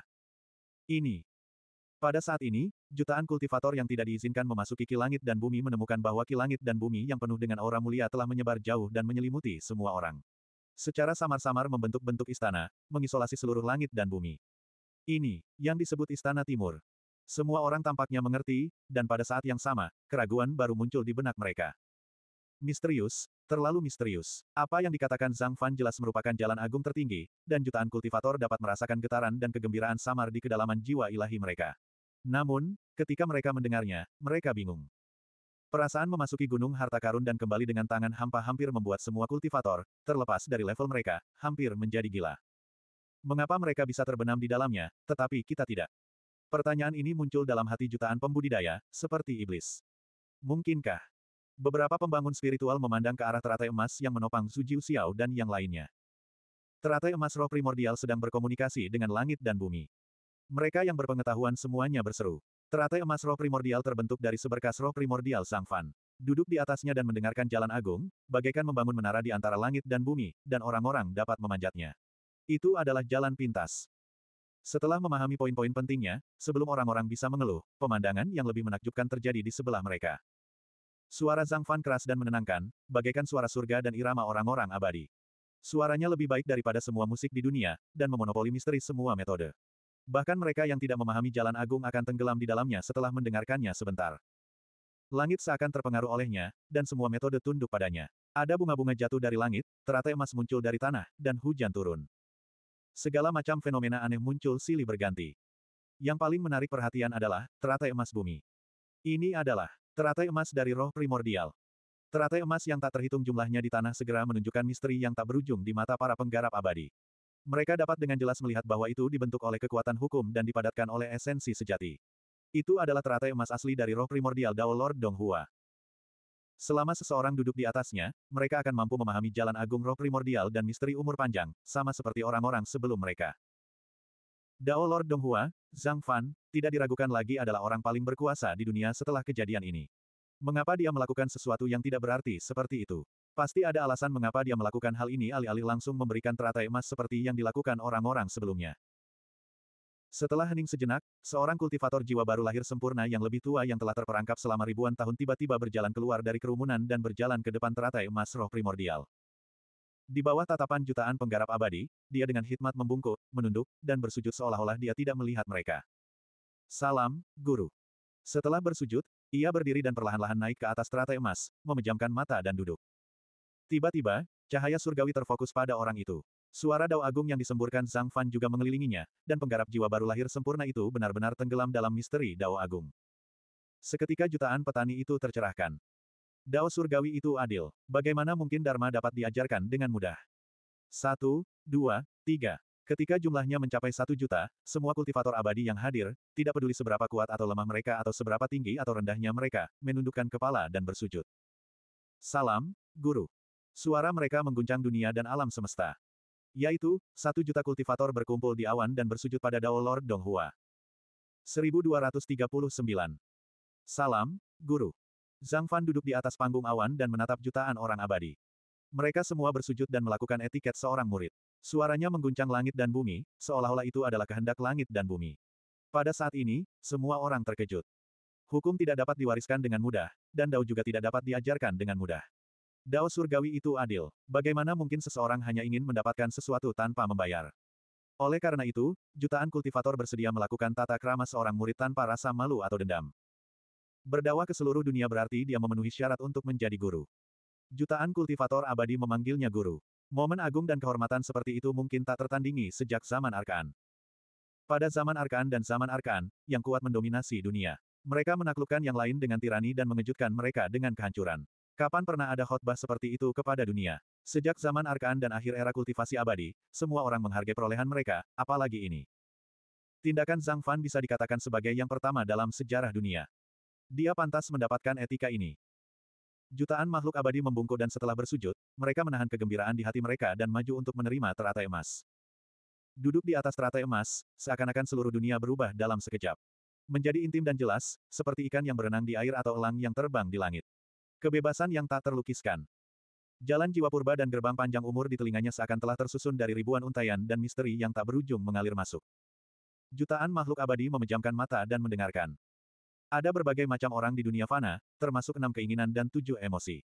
Namun, para kultivator memahami langit dan bumi dan menahan diri, menekannya dengan paksa. Biasanya, mereka hanya akan merasa seperti patung tanah liat, tanpa kembang api kehidupan. Tetapi pada saat ini, ketika hanya suara khotbah Zhang Fan yang terdengar, di istana Kaisar Dong, semua patung dipenuhi dengan kehidupan, dan semua jenis orang muncul satu persatu. Beberapa orang berseri-seri karena kegembiraan, seolah-olah mereka sedang mendengarkan musik surgawi. Entah metode ajaib apa yang membuat mereka begitu bahagia. Ada yang berpikir keras, seolah-olah tidak sedang bingung, dan tidak diketahui kesulitan apa yang membuat mereka gelisah. Ada yang diam bagaikan batu, ada pula yang kegirangan.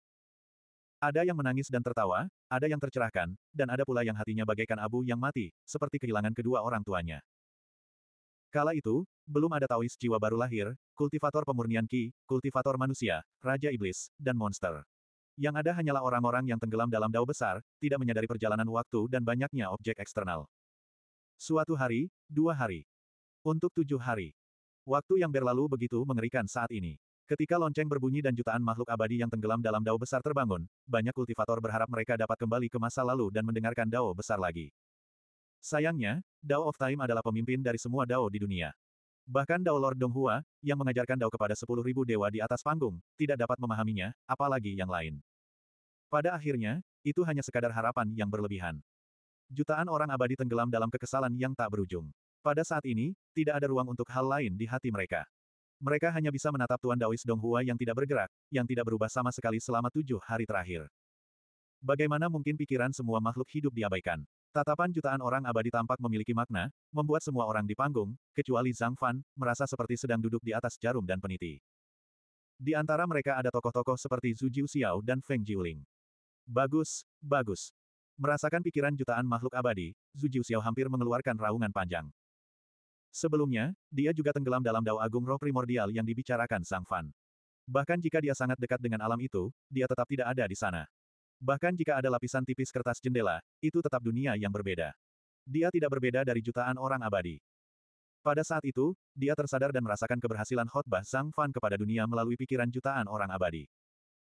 Bahkan di masa yang paling gemilang, ketika 72 penguasa Dao Transformasi Ilahi memimpin sekte ini, sekte karakteristik Dharma kita tidak pernah begitu dihormati. Zhu Jiuxiao hampir meneteskan air mata. Dia telah mengabdikan hidupnya untuk sekte tersebut, dan melihat sekte tersebut berkembang pesat dengan tindakan Zhang Fan di masa depan dan menjadi sekte nomor satu di sembilan negara, kegembiraan yang dirasakannya tak terlukiskan. Berbeda dengan yang lain, Zhu Jiuxiao mengetahui rencana keseluruhan Zhang Fan. Dia tahu bahwa khotbahnya masih jauh dari selesai. Semua ini hanya latihan, pemanasan. Masih ada jalan panjang sebelum panggung besar yang akan menggemparkan dunia. Pada saat itu, tatapan mata Zhang Fan yang acuh tak acuh menyapu pegunungan Lianyun, diselimuti istana Kaisar Dong yang nyata dan ilusi, dan suaranya yang jernih terdengar lagi. Wuji mengubah semua hal di dunia. Sebelum zaman kuno, ada sebuah era. Empat teratas dan terbawah adalah alam semesta, dan sejak zaman kuno, alam semesta disebut alam semesta. Alam semesta meliputi ruang dan waktu, dan merupakan aspirasi tertinggi dari semua dao besar. Di alam semesta, ada satu Yuan sebagai era, yaitu 129.600 tahun.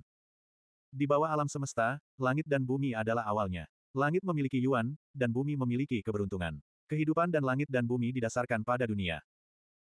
Setelah tujuh hari berkhotbah, tanpa disadari, suara Zhang Fan terdengar sedikit suram dan tidak jelas, dengan sedikit kesan halus. Jika itu bukan dari tubuh daging dan darah, tetapi dari dunia sebagai mulut. Alam semesta, langit, bumi, dan manusia, Yuan akan menjadi tahun dunia. Saat Zhang Fan berbicara perlahan, hati orang banyak tergerak, dan antisipasi kuat di mata mereka berubah menjadi ekstasi. Apakah ini berarti khotbah belum berakhir? Ekstasi semacam itu menyebar di antara jutaan orang abadi, terlepas dari status atau usia mereka. Awalnya, mereka juga tahu bahwa semua jenis pikiran sebelumnya cukup boros, tetapi bagaimanapun juga, dao besar itu misterius, dan mampu mendengarkan selama tujuh hari sudah merupakan berkah besar, tetapi itu hanya harapan kecil. Tanpa diduga, dari nada bicara Zhang Fan, harapan kecil ini justru cenderung menjadi sepuluh ribu. Bagaimana mungkin orang banyak tidak gembira, dan mereka hampir tidak bisa mengendalikan diri. Sekte karakteristik Dharma kami memiliki sejarah panjang, dan kami mengandalkan Dharma, dan peta bintang siklus surgawi. Semua akses Dharma didasarkan pada jumlah bintang di langit. Saat dia berbicara, awan keberuntungan tiba-tiba muncul di atas kepala Zhang Fan. Bintang siklus surgawi awan keberuntungan kekuatan ajaib. Kekuatan magis besar dari kuali perunggu di masa lalu tampak sangat berbeda sekarang. Kuali itu telah menghilangkan semua kotoran dan menyublim ke alam yang tak terlukiskan. Tidak ada harta karun Dharma di sekitarnya, dan tidak ada cahaya kemasan yang menghiasinya. Yang ada hanyalah bintang-bintang siklus surgawi dan nebula yang berputar, memperlihatkan semua misteri. Hari ini, Dong Hua juga akan menggunakan siklus surgawi sebagai dasar untuk berkhotbah selama 3650 hari, dan mencapai metode Dazutian. Pada saat ini, jutaan makhluk abadi semuanya bersemangat, dan mereka berteriak serempak. Guru, berbelas kasihlah. Adegan jutaan orang abadi memuja sabda guru mereka sekali lagi memicu badai di pegunungan Lianyun dan melanda dunia. Ketika pikiran jutaan makhluk abadi berkumpul, mulut Zhang Fan terbuka dan tertutup sedikit, tetapi tidak ada suara yang keluar, seolah-olah dia memiliki perasaan di dalam hatinya dan menyela apa yang hendak dia katakan. Zhang Fan memejamkan matanya sebentar, merasakan sesuatu dan sepertinya mengerti sesuatu. Ketika suara gemuruh itu mereda, dia perlahan mengulurkan jarinya dan menunjuk ke depan kursi. Tanpa suara, hal itu menarik perhatian jutaan orang abadi. Cahaya hitam melesat keluar dari tangan Zhang Fan dan menghilang ke dalam tanah. Kali ini, aku akan berkhotbah kepada dunia dan mengajar mereka yang ditakdirkan. Karena aku telah menerima rasa hormatmu sebagai guru, aku tidak bisa berbuat apa-apa. Begitu suara Zhang Fan berakhir, di tempat cahaya hitam itu mendarat, sebuah pohon besar tercabut dari tanah. Ini. Pohon yang menjulang tinggi itu tampak seperti pohon bodi. Pohon itu memiliki akar spiritual bawaan, aura yang samar, dan kekacauan yang tak terlukiskan, seolah-olah terbentuk oleh sesuatu. Zhang Fan perlahan bangkit, melangkah maju, dan duduk di bawah pohon. Dia berkata perlahan. Ia berkata perlahan, aku menanam pohon mistik ini, dan dengan ribuan metode, pohon ini menghasilkan buah mistik. Dengan memakannya, seseorang akan memperoleh kekuatan mistik dan memahami misterinya. Jumlah hari yang saya khotbahkan akan menjadi 3650 hari dalam siklus surgawi agung.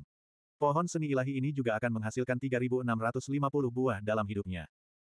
Satu buah dan satu kemampuan mistik, tersisa untuk mereka yang ditakdirkan. Wus. Para makhluk abadi itu menjadi girang, bagaikan gunung berapi bawah laut yang meletus, menimbulkan gelombang-gelombang yang tak terhitung jumlahnya dan tak henti-hentinya. Apa maksudnya? 3650 buah mistis, yang berarti 3650 kemampuan mistis. Mereka yang ditakdirkan akan dapat memperoleh kemampuan mistis setelah memakannya. Seberapa mengerikan ini, kesempatan macam apa ini? Di antara jutaan makhluk abadi, ada ribuan mantra dharma, dan kemampuan mistik berada di atas mantra dharma. Seperti kata pepatah, mantra Dharma lebih rendah daripada kemampuan mistik, dan kemampuan mistik lebih rendah daripada surga. Di bawah dao surgawi, kemampuan mistik adalah yang paling kuat. Bagaimana orang biasa bisa mendapatkannya? Dengan kesempatan seperti ini, bagaimana mungkin semua orang tidak bergembira? Saat Zhang Fan duduk di bawah pohon mistis, buah-buahan hijau tumbuh tanpa bunga dan tergantung di pohon. Pola-pola yang berbintik-bintik dan misterius pada buah-buah itu tidak tampak seperti buah alami, tetapi lebih seperti karya seni yang diukir oleh seorang pengrajin ahli. Tujuh hari kemudian, kita akan berbicara tentang Dao besar. Begitu Zhang Fan mengatakan ini, dia langsung menutup matanya. Kekuatan yang meliputi dan menekan semuanya tiba-tiba menghilang. Semua orang melihat lagi dengan kaget, hanya untuk merasakan bahwa Daois Lord Donghua, yang sedang duduk di bawah pohon mistis, tampaknya telah memasuki alam yang aneh. Alam itu tampaknya tidak ada, ilusi namun nyata, seolah-olah berada dalam jangkauan, tetapi juga ribuan mil jauhnya.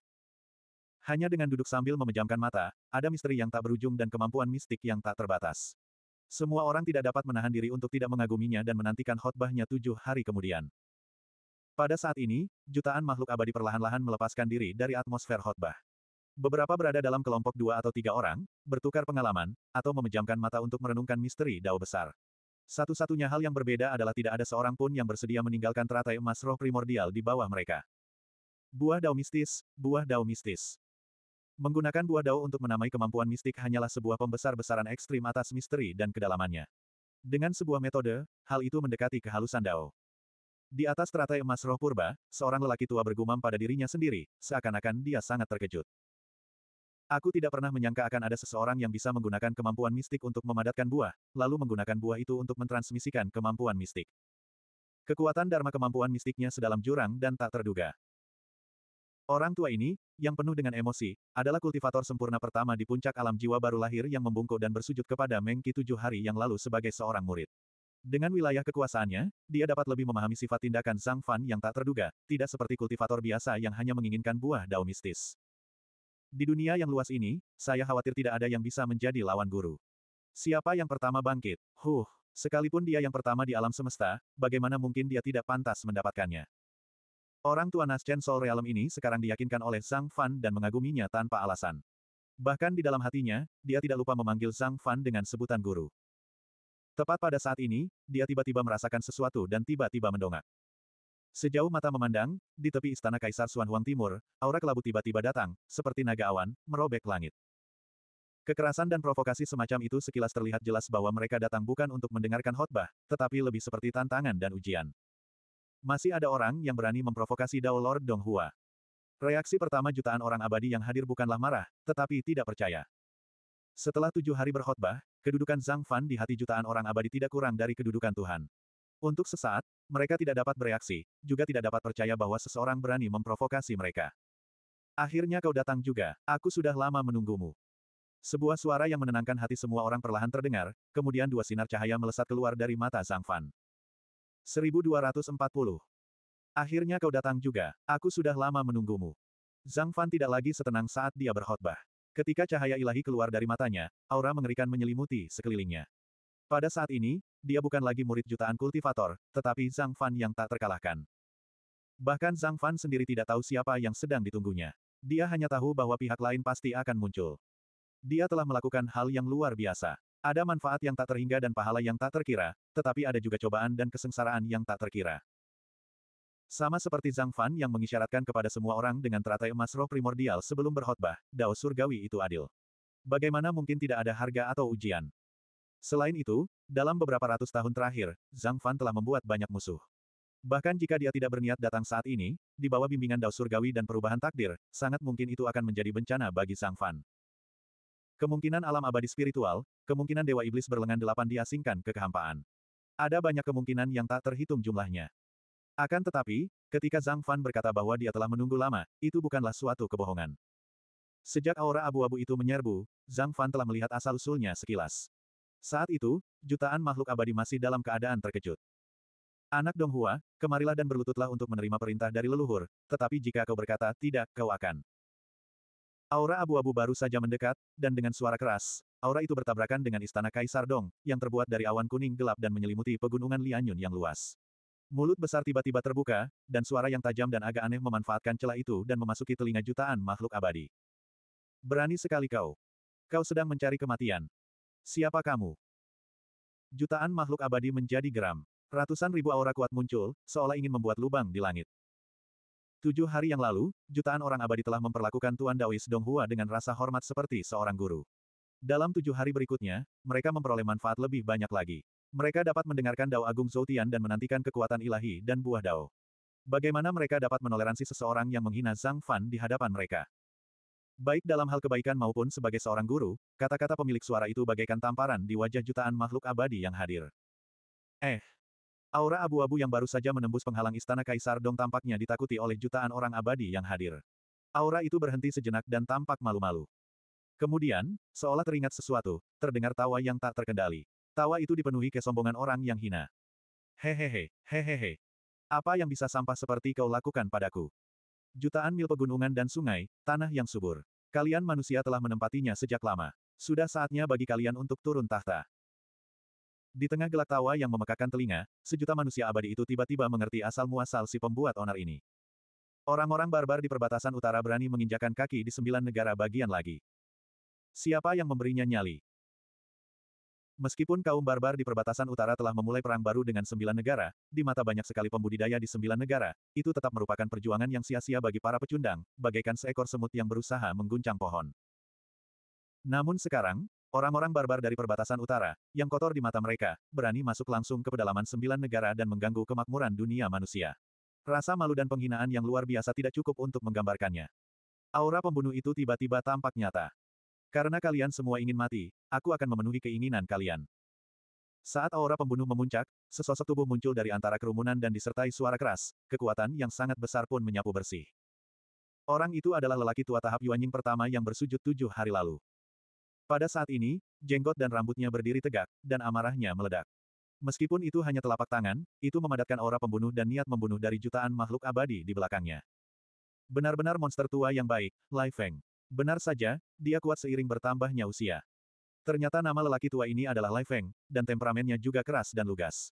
Dia awalnya berada di puncak tahap Yuanying. Pada saat ini, serangan yang mengumpulkan keinginan jutaan makhluk abadi adalah kekuatan puncak dalam hidupnya. Orang tua Lai Feng, jangan meremehkannya.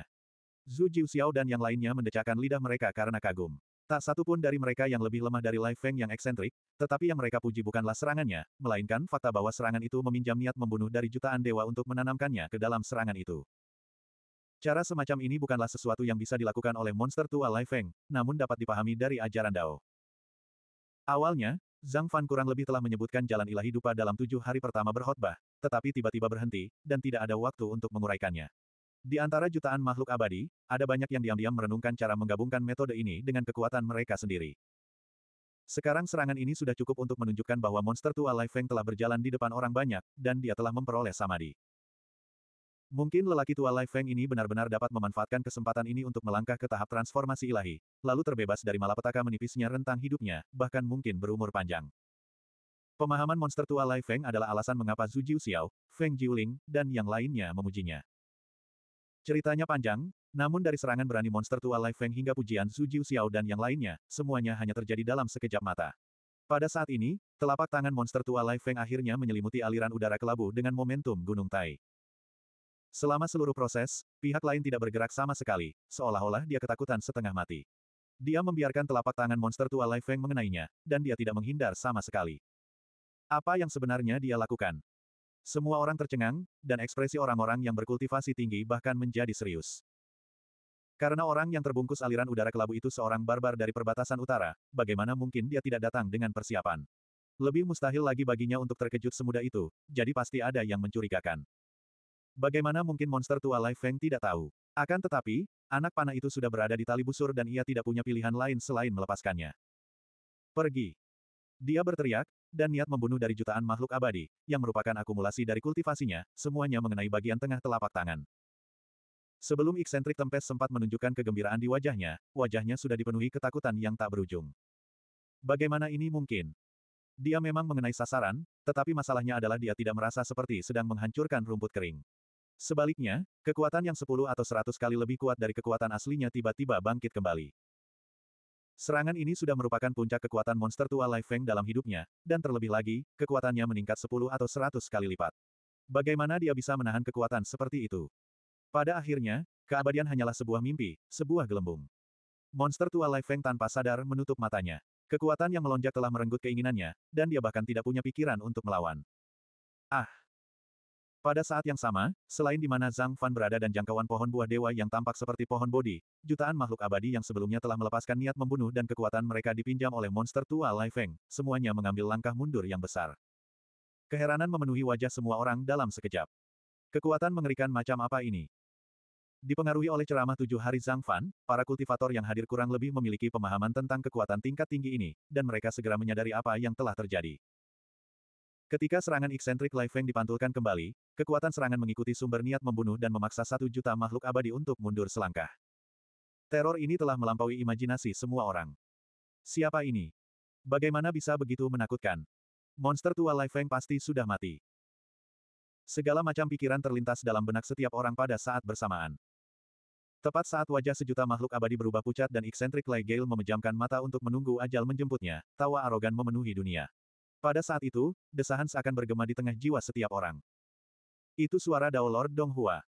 Apakah Tuan akan bergerak? Kecepatan perubahan situasi bahkan lebih cepat daripada pikiran semua orang. Ledakan. Dengan suara keras, gelombang dahsyat membubung dari tanah, seakan-akan badai telah dihalangi oleh tembok tinggi. Gelombang itu melesat lurus ke langit, bagaikan tirai yang memisahkan timur dari barat. Aku, aku, tidak mati. Monster tua Lai Feng membuka matanya dengan rasa takut yang masih ada. Dia melihat bahwa kekuatan yang melonjak yang cukup untuk menghancurkannya seratus kali telah menghilang, dan yang menggantikannya adalah lapisan penghalang yang melindunginya dengan kuat. Itu guru. Sebuah pikiran terlintas di benaknya, dan dia segera berbalik untuk melihat ke arah Sang Fan berada. Di pegunungan Lianyun, atau bahkan di seluruh dunia manusia, berapa banyak orang yang mampu menahan pukulan seperti itu? Itu pasti Zhang Fan. Benar saja, di saat yang sama dia menoleh, Zhang Fan dengan santai menarik kembali gerakannya, tampak seolah-olah dia baru saja melambaikan lengan bajunya sekali. Dengan lambaian lengan bajunya, dia benar-benar memblokir kekuatan yang dapat memukul mundur jutaan dewa. Hanya lengan bajunya yang tidak bergerak sama sekali. Keteguhan hati semacam ini, seperti pilar yang menopang langit, segera menghapus keterkejutan dan ketakutan semua orang terhadap pendatang baru itu. Haha, Dao Lord Donghua, reputasimu tidak buruk. Kau punya beberapa keterampilan. Suara masam itu terdengar lagi. Semua orang melihat ke arah suara itu, hanya untuk melihat bahwa aura abu-abu yang menyelimutinya telah menghilang, memperlihatkan wujud aslinya.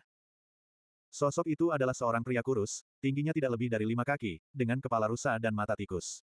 Kulitnya yang terbuka ditutupi dengan berbagai macam pola binatang aneh, yang masing-masing tampak jelas dan tampak seperti manusia.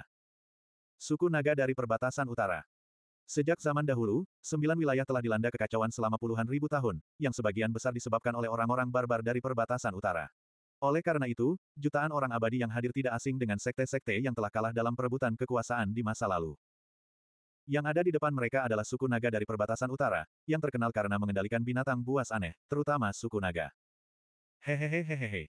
Jutaan orang abadi tidak lebih dari sekadar ayam dan anjing, Dao Lord Donghua biasa saja. Jika kau tahu apa yang baik untukmu, tinggalkan sembilan wilayah. Jika tidak, huh, Orang barbar dari suku naga tertawa terbahak-bahak, sama sekali mengabaikan kemarahan jutaan orang abadi. Dia melihat sekeliling dengan provokatif, berbalik perlahan, dan hendak pergi. Tiba-tiba, dia berhenti, berbalik, dan berteriak ke arah pohon ajaib, aku lupa. Patriark Perbatasan Utara memintaku untuk menyampaikan pesan, melihat bahwa kultivasimu tidak mudah, menyerahlah pada waktu yang tepat, dan kau akan tetap berumur panjang. Kalau tidak, dia tidak melanjutkan. Dia hanya tersenyum dingin dan berjalan keluar dari istana Kaisar Dong. Retak, retak, pada saat ini, di Istana Kaisar Dong di Pegunungan Lianyun, suara gertakan gigi terdengar. Jutaan orang abadi menggertakkan gigi, berharap mereka dapat mencabik-cabik orang ini.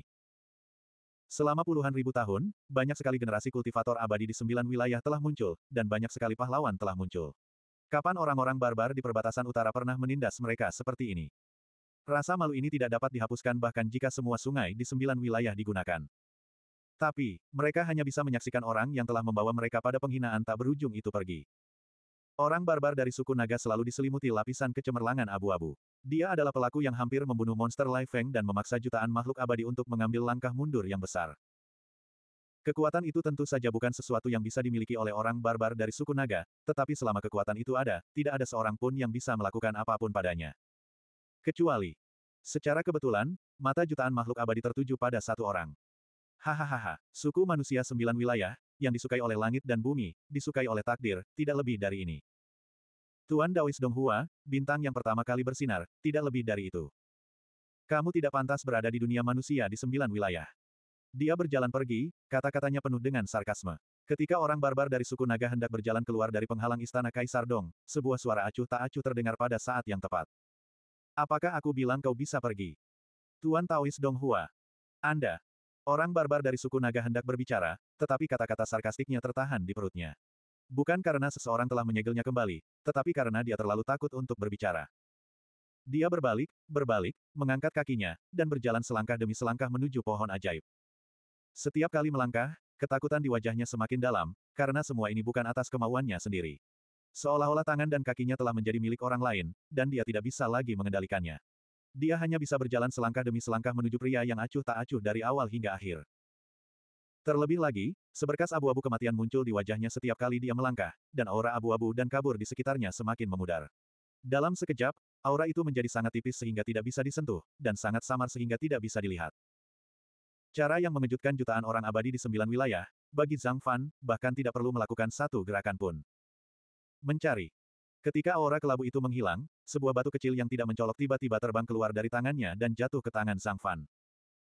Kali ini, orang barbar dari suku naga itu tampaknya telah kehilangan semua dukungan dari esensi, ki, dan jiwanya. Dia jatuh ke tanah dengan lembut, dan ketakutan di matanya mencapai puncaknya. Perbedaan antara awan dan lumpur, dari berada di puncak hingga terseret ke dalam lumpur dalam sekejap, perbedaan ini hampir membuatnya pingsan. Turunkan dia. Zhang Fan bahkan tidak melihatnya. Dia melambaikan tangannya dengan santai, dan dua atau tiga murid dari sekte karakteristik Dharma maju, menangkapnya, dan menyeretnya ke samping. Orang barbar dari perbatasan utara, yang beberapa saat lalu bersikap sombong di antara jutaan makhluk abadi, kini ditangkap hanya oleh dua atau tiga pembudidaya kecil. Perbedaan di antara mereka tidak dapat diukur. Gerakan yang bagus. Zhang Fan sama sekali tidak menganggap serius orang barbar dari suku naga. Sejak awal, dia tahu bahwa orang ini hanyalah pion kecil, hanya untuk menguji keadaan. Dia tidak layak mendapatkan perhatian Zhang Fan. Mustahil bagi orang ini untuk masuk ke istana Kaisar Dong, apalagi mengintimidasi para dewa. Semua ini karena batu kecil yang tidak mencolok di tangannya. Di balik layar, menggunakan pion sebagai pion, satu untuk menguji, dan yang lainnya untuk pamer. Apakah ada hal yang baik seperti itu? Kau telah meremehkanku, Zhang Fan. Tidak sopan jika tidak membalasnya. Zhang Fan tersenyum dingin, dan tiba-tiba mengepalkan tangannya. Batu kecil itu tiba-tiba berubah menjadi merah menyala, seolah-olah telah lama diletakkan di atas api. Yang lebih aneh lagi ialah bahwa bahkan ketika api itu berubah dari merah menjadi emas, dan berubah menjadi api emas matahari agung, tetap saja tidak ada panas yang keluar, seolah-olah semua panas itu tertahan di dalam. Bentuknya pun berangsur-angsur berubah, perlahan-lahan menghapus semua tepi dan sudut, berubah menjadi bentuk unsur-unsur campuran, seperti matahari merah terang yang menggantung tinggi di langit. Seketika, Zhang Fan mengangkat kepalanya, menatap jutaan makhluk abadi di bawah, lalu perlahan membuka mulutnya. Apakah ada orang yang bisa terbang dan bersedia pergi ke perbatasan utara untukku?